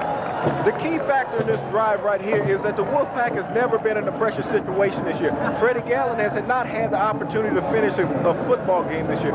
The two things are very critical together. Freddie Gatlin rolled out that time to his left, naked boot, was able to find Joe King out the flat to pick up a great first down, but they have to learn how to bury this Vandals defense right here. Buster Hickman made the stop, but he was just wandering around in the secondary. That cover two will kill you every time. We'll talk about Fred Gatlin's numbers in just a minute. Another first down on the ground. Holmes coming right side, pounds his way into the line of scrimmage, maybe to the 21-yard line. Damon Taggart came in and made initial contact. He and Robinson are single-handedly holding this defense together. They, have been exceptional players all afternoon, but the most critical part right here is the Wolfpack maintains possession of the football. They have controlled the ball the entire second half, which has been the key point. This Idaho defense is very tired. You see players leaning over with their hands on their hip. An exceptional job of controlling the ball by the offensive line this afternoon. Idaho State in control, as is Eastern Washington over Montana. Eastern leading 10-3, and they beat, uh, they lost to Weber State last week, 63 to 59. And a barn burner lost in the last seconds. Gatlin, a little swing pass right side of Washington. Fake spins, and he'll get inside the 20 to maybe the 18-yard line. Good open field tackle. Damon Taggart again, James, I said he was holding them together. Taggart, Monk, Robinson have had, had, exceptional afternoons. You're talking about all Big Sky players. Freddie Gatlin actually threw a lateral out that time to Keith Washington, but Keith Washington was able to grab the ball. Great move at the end by Keith Washington, just being tripped up by an ankle by Taggart because he had a great spin move and another 10 yards of turf in front of him. Gatlin with 281 yards passing this afternoon. Down and about seven to go from the 19-yard line. Movement. Jeff Robinson moved and touched the Wolfpack offense, and there was no flag prior to that. It was Scott Benning moved. The tight end is allowed to raise up and reset. Should be an offside on the defense. Exactly right, because Benning, the tight end, can move, James, and when Robinson made contact, the penalty should be against him. That is that is the plus of of a receiver. A receiver is allowed to move once he's been set. He can get up and adjust as long as he's been set a second prior to the snap of the ball. Scott Benning is allowed that. That time Scott raised up out of his three-point, went back down. Robinson came across, thought it was the offensive lineman. The defense procedure by the defense came across, touched the offense. That is the call. Procedure on the defense called by Gary Peters, our referee. So now the Pack will have still a third down but it'll be third and two. And as in the first half, when the penalties were going against the Wolfpack, they've gotten a few in their favor here in the second half. We said, James, if you hang around long enough, the momentum will swing. When it does, you've got to take advantage of it. Well, when you're a proven winner and you have a team such talent-laden and experience-laden as the Wolfpack, you will find ways to win. They found ways here in the second half to come up from adversity that they, that they had in the first half, gathered themselves. The coaches did an admirable job in the halftime talk with the players in the locker room, came back out, established themselves in a dominant role in the second half, and has just completely controlled the ball game. It is third down and short with 10-10 to go in the ball game. Remember, in the Big Sky Conference, though, should it go that way, you do have overtime. Nevada with 14 points here in the second half. Joe King is wide left, two tight ends in for Nevada the ground to go to Holmes. He runs up the middle, takes a tackler with him. He'll get near the 10-yard line. And he gets a first down on that run. Great surge by the offensive line. Dedrick Holmes, the young freshman, being pressed into a lot of action here this afternoon up at the Kibbie Dome in Moscow, Idaho, has responded very well. He's had an outstanding afternoon for his first long game as a college player. Jerry Keating made the stop, but a yard too late as the pack needed that yardage for the first down, and it'll get it down to the 11-yard line. First and 10 from the Vandal 11. Clock is moving. Nevada leading 24-23. Gatlin with the bootleg comes out left, fakes the throw. He wants to carry. Gatlin at the 10. He will dive to the 8. Gatlin hesitated, and he who hesitates will not get a touchdown. But it, it we have a player down uh, for the Wolfpack. Tom Rebecca's the offensive lineman. But in the hesitation for Freddie Gatlin, don't put your quarterback in a vulnerable situation. Why put him out where he's taking a hit? Tom Rebecca's probably the heart and soul of this offensive line for the Wolfpack is walking off the field. Freddie Gatlin did a great job on the bootleg and disguising, but Tommy Rebecca's, you hate to see him in a position like this because he's fought so hard from adversity and injuries to come back and perform so well early in this season to come off the field like this. I thought the crowd was going to show no style at all because when Rebecca got up, he tossed his helmet he took his uh, mouthpiece out and threw that, and the crowd started to boo him. Had they known what Rebecca's has gone through the last two years, they would have been on their feet applauding him because he's coming to the sideline, again, limping on that left leg. And it's one of those leg injuries, and Tommy cannot stand to go through another leg injury. Second and goal to go. Ball is on the nine-yard line. Gatlin sprinting out right, looking in the end zone, trying to get away from trouble, still running around. He runs out right, gets a Washington block. He's inside the five. He will go in. Touchdown! Gatlin did it on his own. Fred Gatlin with an amazing play. He scrambled and scrambled until he found a way into the end zone and then picked up Keith Washington. He was gone. A throwback to Freddie Gatlin's freshman era. Freddie Gatlin dropped back in the pocket, was able to elude the rush. Big the offensive tackle did a tremendous job of blocking on the right side. Freddie Gatlin came in, avoided another tackle, went to the sideline, cut back against the grain, against the floor of the defense, saw he had an opening, was able to gallop into the end zone for the touchdown. Great drive by the Wolfpack and Freddie Gatlin. 9.06 remaining. Schwendinger will try to add the extra. The Dinger nails it. It is a 31 to 23 game. 9.06 remaining. Still plenty of time here in the fourth quarter. We'll return to the Kibbie Dome. Once again, we'll be back after this timeout. More critical each possession. The, the vulnerability of each defense is presented right here because you have two very strong passing attacks. The Idaho offense dominated the first half. Nevada's offense has dominated the second half, and both by the air, mixing it with the run. Well, Freddie Gatlin with two touchdowns rushing and two throwing I, I, don't know how you could pick anybody but Fred Gatlin for the outstanding player of this game. Well, that last run was so outstanding, it would make anyone's highlight reel. Schwendinger to Saunders at the 7. He's at the 20. He's got a seam at the 30. Grabbed from behind and pulled down by Andre Howard. Howard makes a touchdown saving tackle. Those are things that you have to protect against. Both teams are so explosive. Specialty teams, offensively, defensively, they can come up with the big plays. One of the Vandals' touchdowns came from a defensive interception, but the Wolfpack was able to respond well here in the second half and put themselves back in the lead for the first time this afternoon. James, we're going to give another trip to Palm Springs away in our post-game show. The Gatlin run is going to be the play of the second half. There's no doubt about that. Got a phone. I want to qualify for that one. At their 37, first and 10, Idaho. Nussmeier faking the dive, rolling out left. Drehos giving chase. He throws short at the 40, caught and spun down. Ali Alima Daly will go down near the 41. But Nussmeier at that time did what he does well. He moved himself out of the pocket. He is not a proven pocket passer. He throws the ball well when he's on the roll. He rolled out to the left side of the formation that time, being pursued by Mark Drehos. Got away from Mark, was able to deliver the ball to Daly for a five-yard gain. James, a touchdown and a two-point conversion could send this game into an interesting area, overtime. Nussmeier pitches the ball to Pierce, coming right side. He shakes a tackle at the line of scrimmage and dives forward near the 44. Remember, you don't end in a tie. There is a playoff. There is overtime. The Big Sky believes in entertaining the crowds, and it's great to have overtime in a situation. Devon Pierce has not been a part of the offense that he was in the first half. He has been held in check.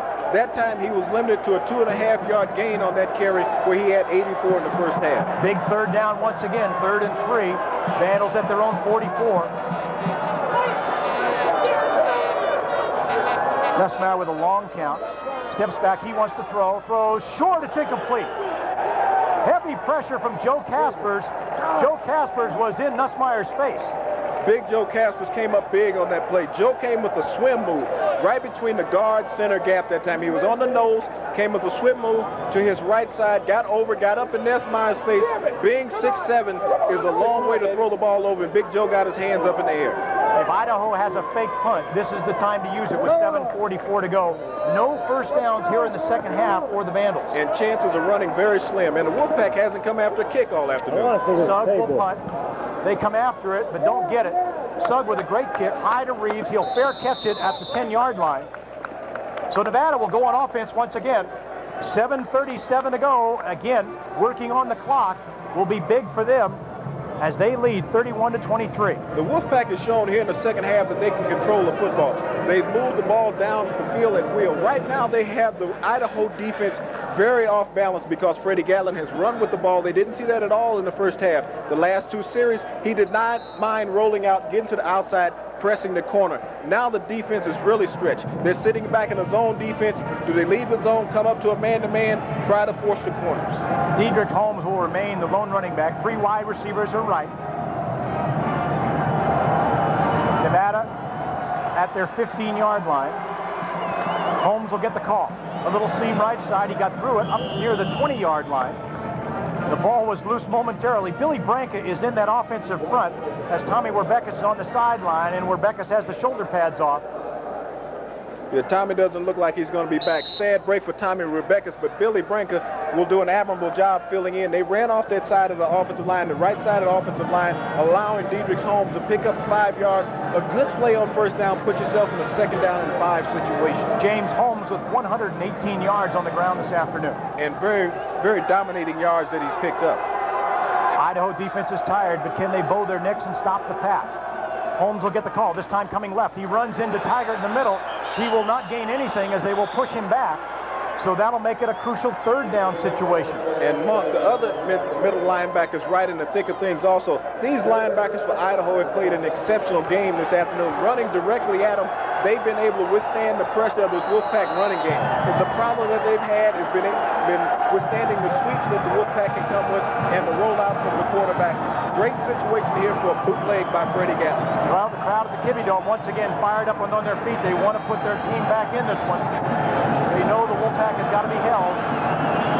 Clock moving with 6.15 to go in the game. Gatlin to throw on third down. Plenty of time. Arm fake. Hale's going to run. Gillum enough for the first down and more. Over the 35, over the 40.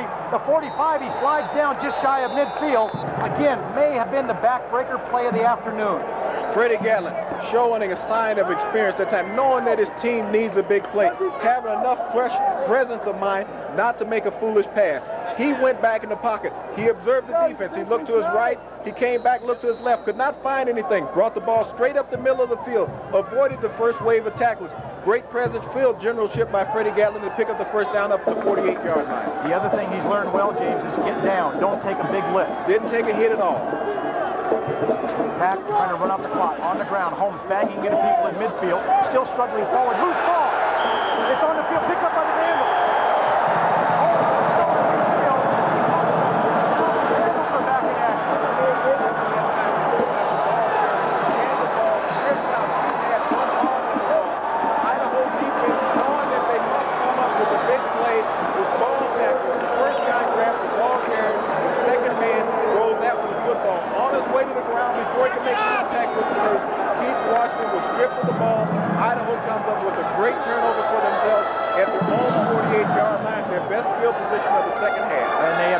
first down with 5.44 to go.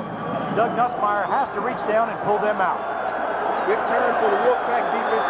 They must come up big once again. Murphy is wide right. Saunders on the left side. Now Murphy will go in motion through the backfield. Three wide receivers left. Nussmeier throws it back to Murphy. He wants to throw it. He's looking to throw. Grabbed and dropped. A great play by Brock Marion. Marion came blowing across. Murphy looked up, and there was number seven, his identical number in his face. Face to face, number seven. Great play call by the Idaho Vandals. You got to love the the engine, ingenious by John Smith that time to throw a lateral pass when you get a turnover. He threw the pass to Murphy. Brock Marion, great reaction time, charging straight across, did not take the fake, just went after his legs, brought him out. Big loss on the play for the Idaho Vandals. Loss of 10, second and 20, now back at their 38. No back backfield. Pierce goes wide left. Nussmeier to throw. Drifting around, still looking. He's got running room on the left side. Now he sets up. He wants to throw deep. The Hail Mary downfield for Taylor. Taylor can't get it. Overthrown for Chris Taylor. That time, Nussmeier had all the time in the world, but as you said earlier, Nussmeier is not a solid passer when he has to throw deep. He just hung that one out. Great time given him by the by the offensive line of the Vandals. The Wolfpack were running a stunt up front. They were able to knock off the entire defensive line. If not for Nick Harker coming up in the end to force Nussmeier to, to throw that one, he could have run that one downfield for great yardage. Nussmeier, in the last 20 passes, doesn't have big yardage at all. He is 6 of 20 for a total of just 28 yards. Now it's the time, third and 20 at their 38-yard line. Again, a no back backfield. Nussmeier to throw. No secret there. He's going to be sacked. Mike Rogers made a big play earlier sacking Nussmeier. He's in his face again. He sacked him down on the 10-yard line and earlier in the quarter. Mike Rogers came up big. Nussmeier after that was limping off the field.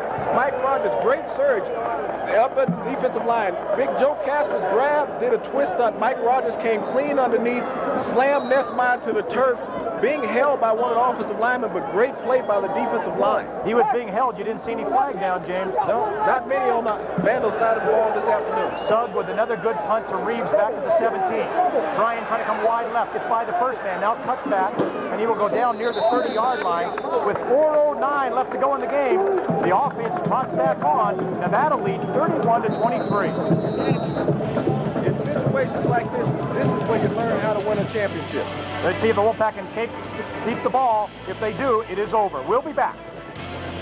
Reeves has averaged almost 14 yards on six punt returns. Brian Reeves has done an exceptional job. He's come straight up the field this afternoon on his punt returns. What he had not done in his prior four contests where he tried to jute around and make people miss. If you run right a pass the coverage team, you will force people to miss. They do not normally have enough time to break down, and Brian Reeves has done an exceptional job when he's got his hand on the ball on punt returns this afternoon. Well, our play of the second half is the scramble by Fred Gatlin, who, who by far the outstanding player on this field this afternoon. We will give a trip to Palm Springs away in our postgame show, so stay on our radio side or join KRNV News for Reno. Whatever way you want to do it. It's been a simulcast, and it's been a lot of fun from Moscow, Idaho. As we go along, that could might even turn into a play of the year. That could have been the single most play, most devastating play against this Vandal defense this afternoon. Because just when they thought they had the Wolfpack stop, might be able to get back into the game, Freddie Gatlin stretched the defense out, took it in for a touchdown. Again, the Wolfpack trying ball control. They have three wide receivers left. At their own 31, it is first and 10. Gatlin taking an awful lot of time. With five seconds, he gets a snap off on the ground. Dedrick Holmes backing his way, sidestepping to near the 40-yard line. Dedrick Holmes that time did an exceptional job. Great play calling by Freddie Gatlin. Got up to the line of scrimmage, did not like what he had called in the huddle, had 11 seconds on the play clock, audibled out to a, a counter play inside, whether it was just a straight hitter up the middle. Dedrick Holmes was able to back in for a nine-yard gain. Great second down position here for the Wolfpack. Holmes with 126 yards on the ground. He's going to share some of those honors with Fred Gatlin. Clock moving with 3.30 to go. Again on the ground. Holmes coming left. Cuts it back upfield. He will get to the 43-yard line. But the type of game that was needed from the running back position for the Wolfpack today, there was a big question mark who would carry the load. Coming into the game, we knew that Zeke Moore would not be playing. At the start of the game, they inserted Eric Smith. They felt that Eric being a senior that he could respond. But in the end, they had to go back to the true freshman, Dedrick Holmes, who has stepped to the forefront in the running derby of the Wolfpack running backs. First down, Holmes gets that at his own 44. 31-23 our score. Nevada trailing at halftime by 13. Again, Holmes powering his way up the middle does a near flip, but still hangs on to the ball. He'll go down at the 47 or 8. Idaho trying to preserve the clock now. We'll take a timeout. But James, next week, it's homecoming. Back home, Idaho State will be in town, and certainly on Thursday, let me mention again, the Hall of Fame inductions. The Hall of Fame dinner will take place. You, along with Jerry Dales, uh, Mr. Robinette, and the 1979 swim and diving team will be inducted, along with Johnny High. Well, it, it's a great honor. I'm very pleased to be inducted into the University of Nevada Athletic Hall of Fame. Uh, probably the culmination of my career in athletics. Uh, it was something that I did not know would come along, but I'm very pleased that I've had the honor of being inducted as one of the better football players at the university. If you'd like to attend that dinner, by the way, there are tickets available. So just call the athletic department anytime next week, and they'll uh, have tickets for you. It'll be a good affair. It always is. A lot of the uh, current Hall of Famers return, and it's a good night to reminisce about sports and a lot of the other things at the university. Well, I'm looking for a fun evening, but I also enjoyed this afternoon here out on the field, and not to take away anything from these players, because these are the true heroes here this afternoon that are, born, uh, playing out here on this gridiron. This is where a championship team is truly formed. You have to know how to put the nail in the coffin. Right here, if Nevada expects to have that dominating championship season, they have to know how to finish this game this afternoon. This is only one of the hurdles to get get over. This, there are many more. But it's the first hurdle, and you have to get that first hurdle before you can find that second. Second and six, their own 48-yard line. Gatlin has him at the line. Singleton is wide right. Reeves on the left side, but don't expect him to throw it. As I say that, he looks at Singleton, fires the completion at the 45. Singleton will go down at the 41. And Millsap is very fortunate that he was able to hang on to Singleton's leg because Singleton was just about ready to break into full stride. But another first down for the Wolfpack. Just as you mentioned, don't expect them to throw it. Idaho's defense thinking the same thing. Let's keep the, watch them. They're going to keep the ball on the ground, try to grind out the clock. But Air Alders has been known this year, has been very efficient in passing the football and doing a great job here in the second half. Yep, one sideline constantly trying to outgas the other at the Vandal 41-yard line, first and 10, the clock moving with 2.35 to go. Gatlin on the ground. Holmes coming left side. He's got a seam. He's inside the 35 to the 32-yard line. Dedrick's Holmes running with an awful lot of power punishing the defensive back. Terry Green made the stop. A lot of authority in Dedrick's Holmes running here in the second half. He's come out as a proven football player. And if you look at this Idaho defense, in the first quarter, they were springing off the ground. Now they're getting to one knee, gathering themselves to two feet. They are tired and weary at this point. Idaho calls another timeout, their second, trying to find some way to preserve the clock long enough to get another possession and then hope for the best that they can go the length of the field and then convert a two-pointer to put it in overtime. That's the only chance they have. And a thing that our fans not here the game did not see, when Chris, when Freddie Gatlin came off the field, the first person was able to meet him was Chris Vargas to come in to give him some inspiration, to advise him on things that he's recognizing on the sideline. That's something that a lot of people don't understand in this quarterback tandem, that they're not competing against each other. They're competing as teammates, and they want to see the other one do well and win. You said something earlier, James, that is very, very important for Wolfpack fans to remember. This is the first game that Gatlin has gone into the second half and completed the whole game. Yeah, this is something that was needed, though. You have the great quarterback tandem in Northern Nevada at the University of Nevada, but to have a quarterback that is your number one, you have to know when you get in a critical contest like this that he is your true field general. And he has showed true field leadership this afternoon in taking the Wolfpack to a second half lead. Gatlin and comparing Gatlin to Nussmeier, he completed 12 of 17 for a touchdown 150 yards. He ran for two touchdowns. Nussmeier was 2 of 8 for 14 yards. And we still have some time left on the clock. That is in the second half. Again, the Wolfpack on the ground. Holmes slicing up the middle, getting yardage. He's inside the 20, dragging people near the 15-yard line.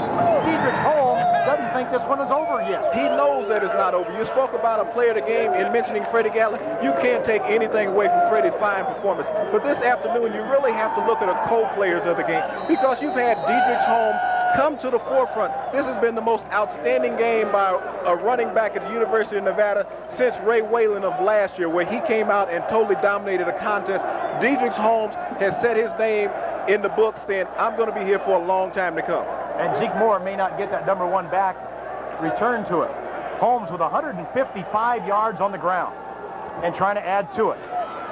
Trying to shake a tackle. That time, a little shake and bake won't get him much as he's dragged down about the line of scrimmage. Idaho has taken their last time out with 145 remaining. But a situation here, the clock is not in favor of Idaho. Being down by eight points at this time, being only a second down play here, second and 12, the University of Nevada has to hold on to the football. A field goal is not even a smart situation in this if it comes down to fourth down. When you have 80 plus yards of real estate in front of you and your offense hasn't really done anything in the second half and the University of Nevada's defense is dominating as it's been here in this last 28 minutes of the football game, you have to look forward to them coming out and being able to stop this Idaho offense if you can't punch it in for a touchdown. It has certainly been two separate halves of football. Idaho dominating the first half on the ground, and then the Wolfpack defense not allowing a first down by the Vandals in the second half. They have pitched the shutout here in the second half. They have not allowed a first down. They have not allowed any plus yardage really here to speak of. They've come out. I would have loved to have been in the in the locker room at halftime with Chris Ault to listen to what he has said to his players because he did something to really motivate this group and to let them know if they wanted to be winners, this is where the winning started. They had some blowouts, averaging 55 points a game coming in here, had not been tested. But they were tested this afternoon, and they have answered their test. Nevada trailing at the intermission 23 to 10 has tacked on 21 points in the second half and with a touchdown call back and a field goal hitting the bar and just dominated the entire second half against this Vandals defense. Second and 12 at the 17. Holmes trying to come wide left. Good blocks in front of him. He lowers his head and gets to the 12 or 13 yard line.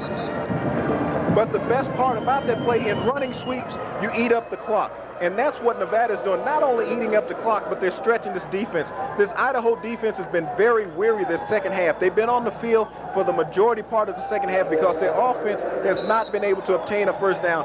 Dedrix Holmes has just been a dominant force along with Freddie Gatlin.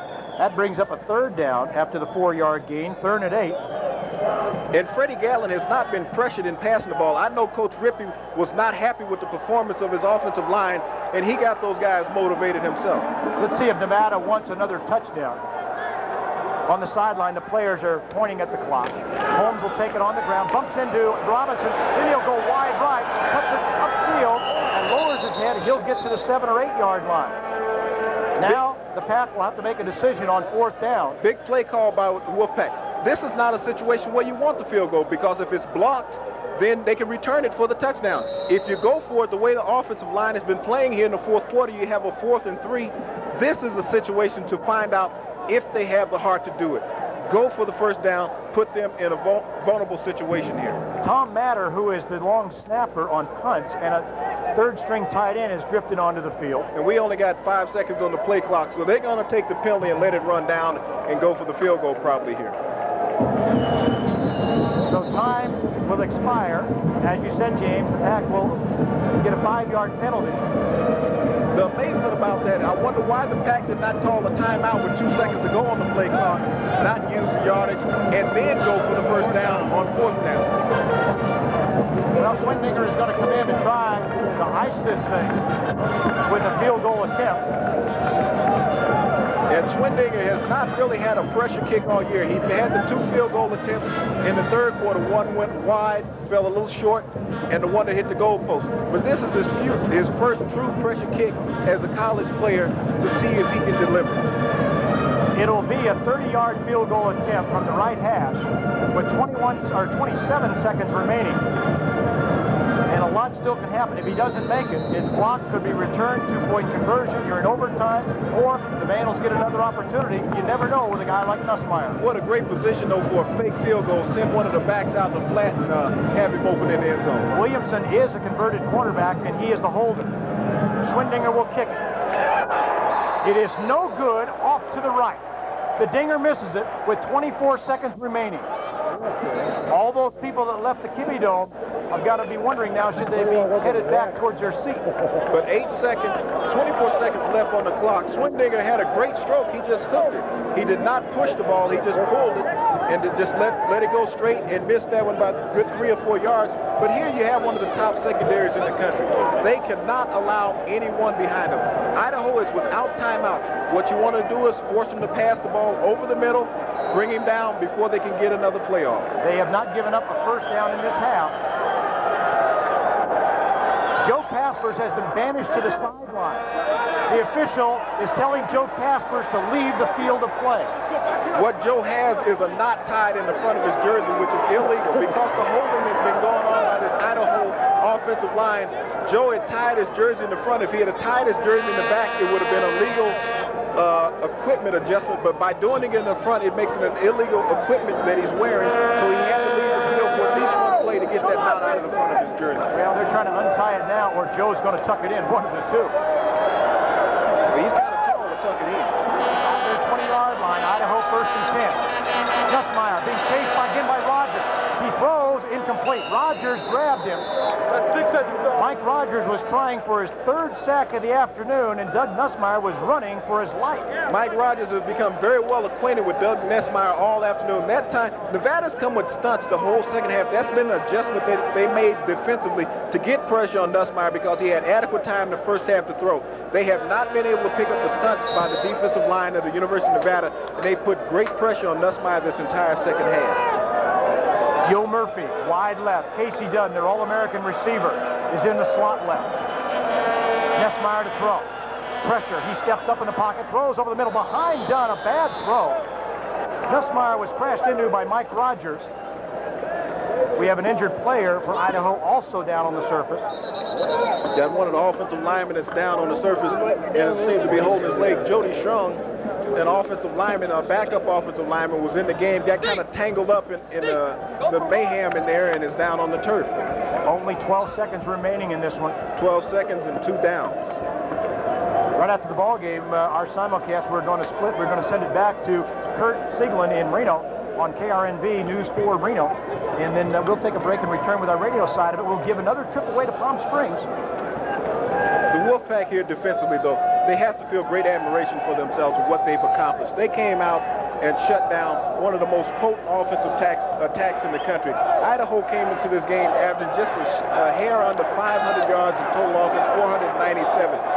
Nussmeier, one of the top-rated quarterbacks in the country, averaging 370 yards passing, has not done anything this entire second half. They came out and played the defense that the fans in Northern Nevada was accustomed to seeing every afternoon in Mackay Stadium. They've exploited here in the second half here in Idaho. The Wolfpack fans have been sitting far to our left at about the 10-yard line are really enjoying themselves now, James. No, they've been standing on their feet the entire second half. Nussmeier again to throw, surveying the situation. He wants to go up top of the deep one. Playing center field, Reggie Robinson intercepts all the way back at the 26-yard line. Robinson with the interception, and that will bury the Vandals. Reggie Robinson ball hawking for the Nevada defense, just playing free safety in open field, reading Doug Nussmeier, the quarterback. Reggie Robinson went with the flow. Nussmeier rolled out. Reggie Robinson flowed with him, came up with the great interception, and he told me to say hi to his dad this afternoon who was listening back in Northern California. So Reg picks one, and the secondary for the Wolfpack. Two years ago, they were victimized. This year, that secondary held together. That secondary that came up here two years ago as a true freshman that was victimized probably by the best quarter, quarterback in the conference came and redeemed themselves this afternoon, showing that they have arrived. They were vandalized two years ago. They were vandal vandalized, but they came in and put a pack drive on them this afternoon. And they were vind uh, vindicated this afternoon. They played well. Gatlin will step back and kneel down, and that will end it. The Wolfpack here in the Kibbie Dome in Moscow, Idaho will win 31 to 23. They'll remain undefeated at 5 0. The Vandals will slip to 3 and 2. And we'll send it back to Reno. It was a great first half for Idaho, but the second half of the Wolfpack spelled the difference. Curt Siegman will send it to you. Our radio crew will return in just one minute.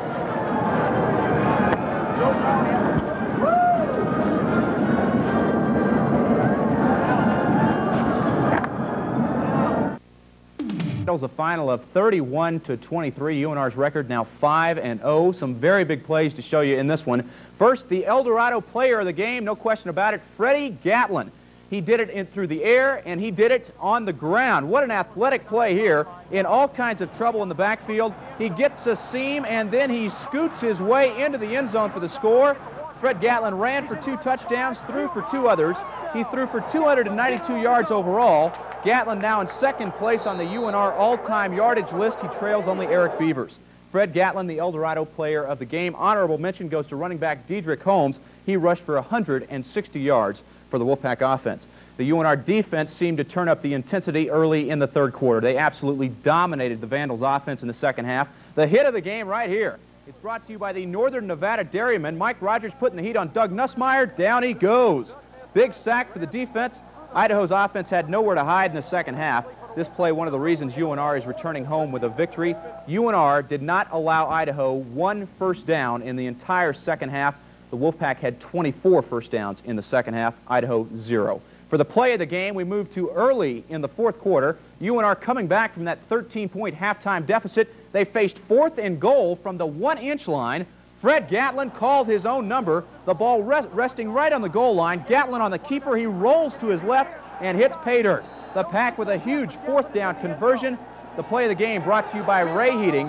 That put UNR in the lead 24-23. The Wolfpack was definitely in business after that. The Pack wins their first game in Moscow, Idaho since 1983. So UNR will be returning home with a very exciting win under their belt.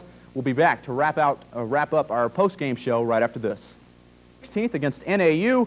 Both games can be seen right here live on KRNV. And that's a wrap-up on our coverage today of the UNR-Idaho game. Once again, the final score, Wolfpack 31, Idaho 23. A tremendous second-half comeback by the Wolfpack. They, they will retain their number one ranking. UNR now 5 and 0. And next week, the Pack returns home. They'll host Idaho State. Stay with News 4 all week for coverage leading up to that game. It's homecoming next week. I'm Curt Sieglin. Thanks for joining us.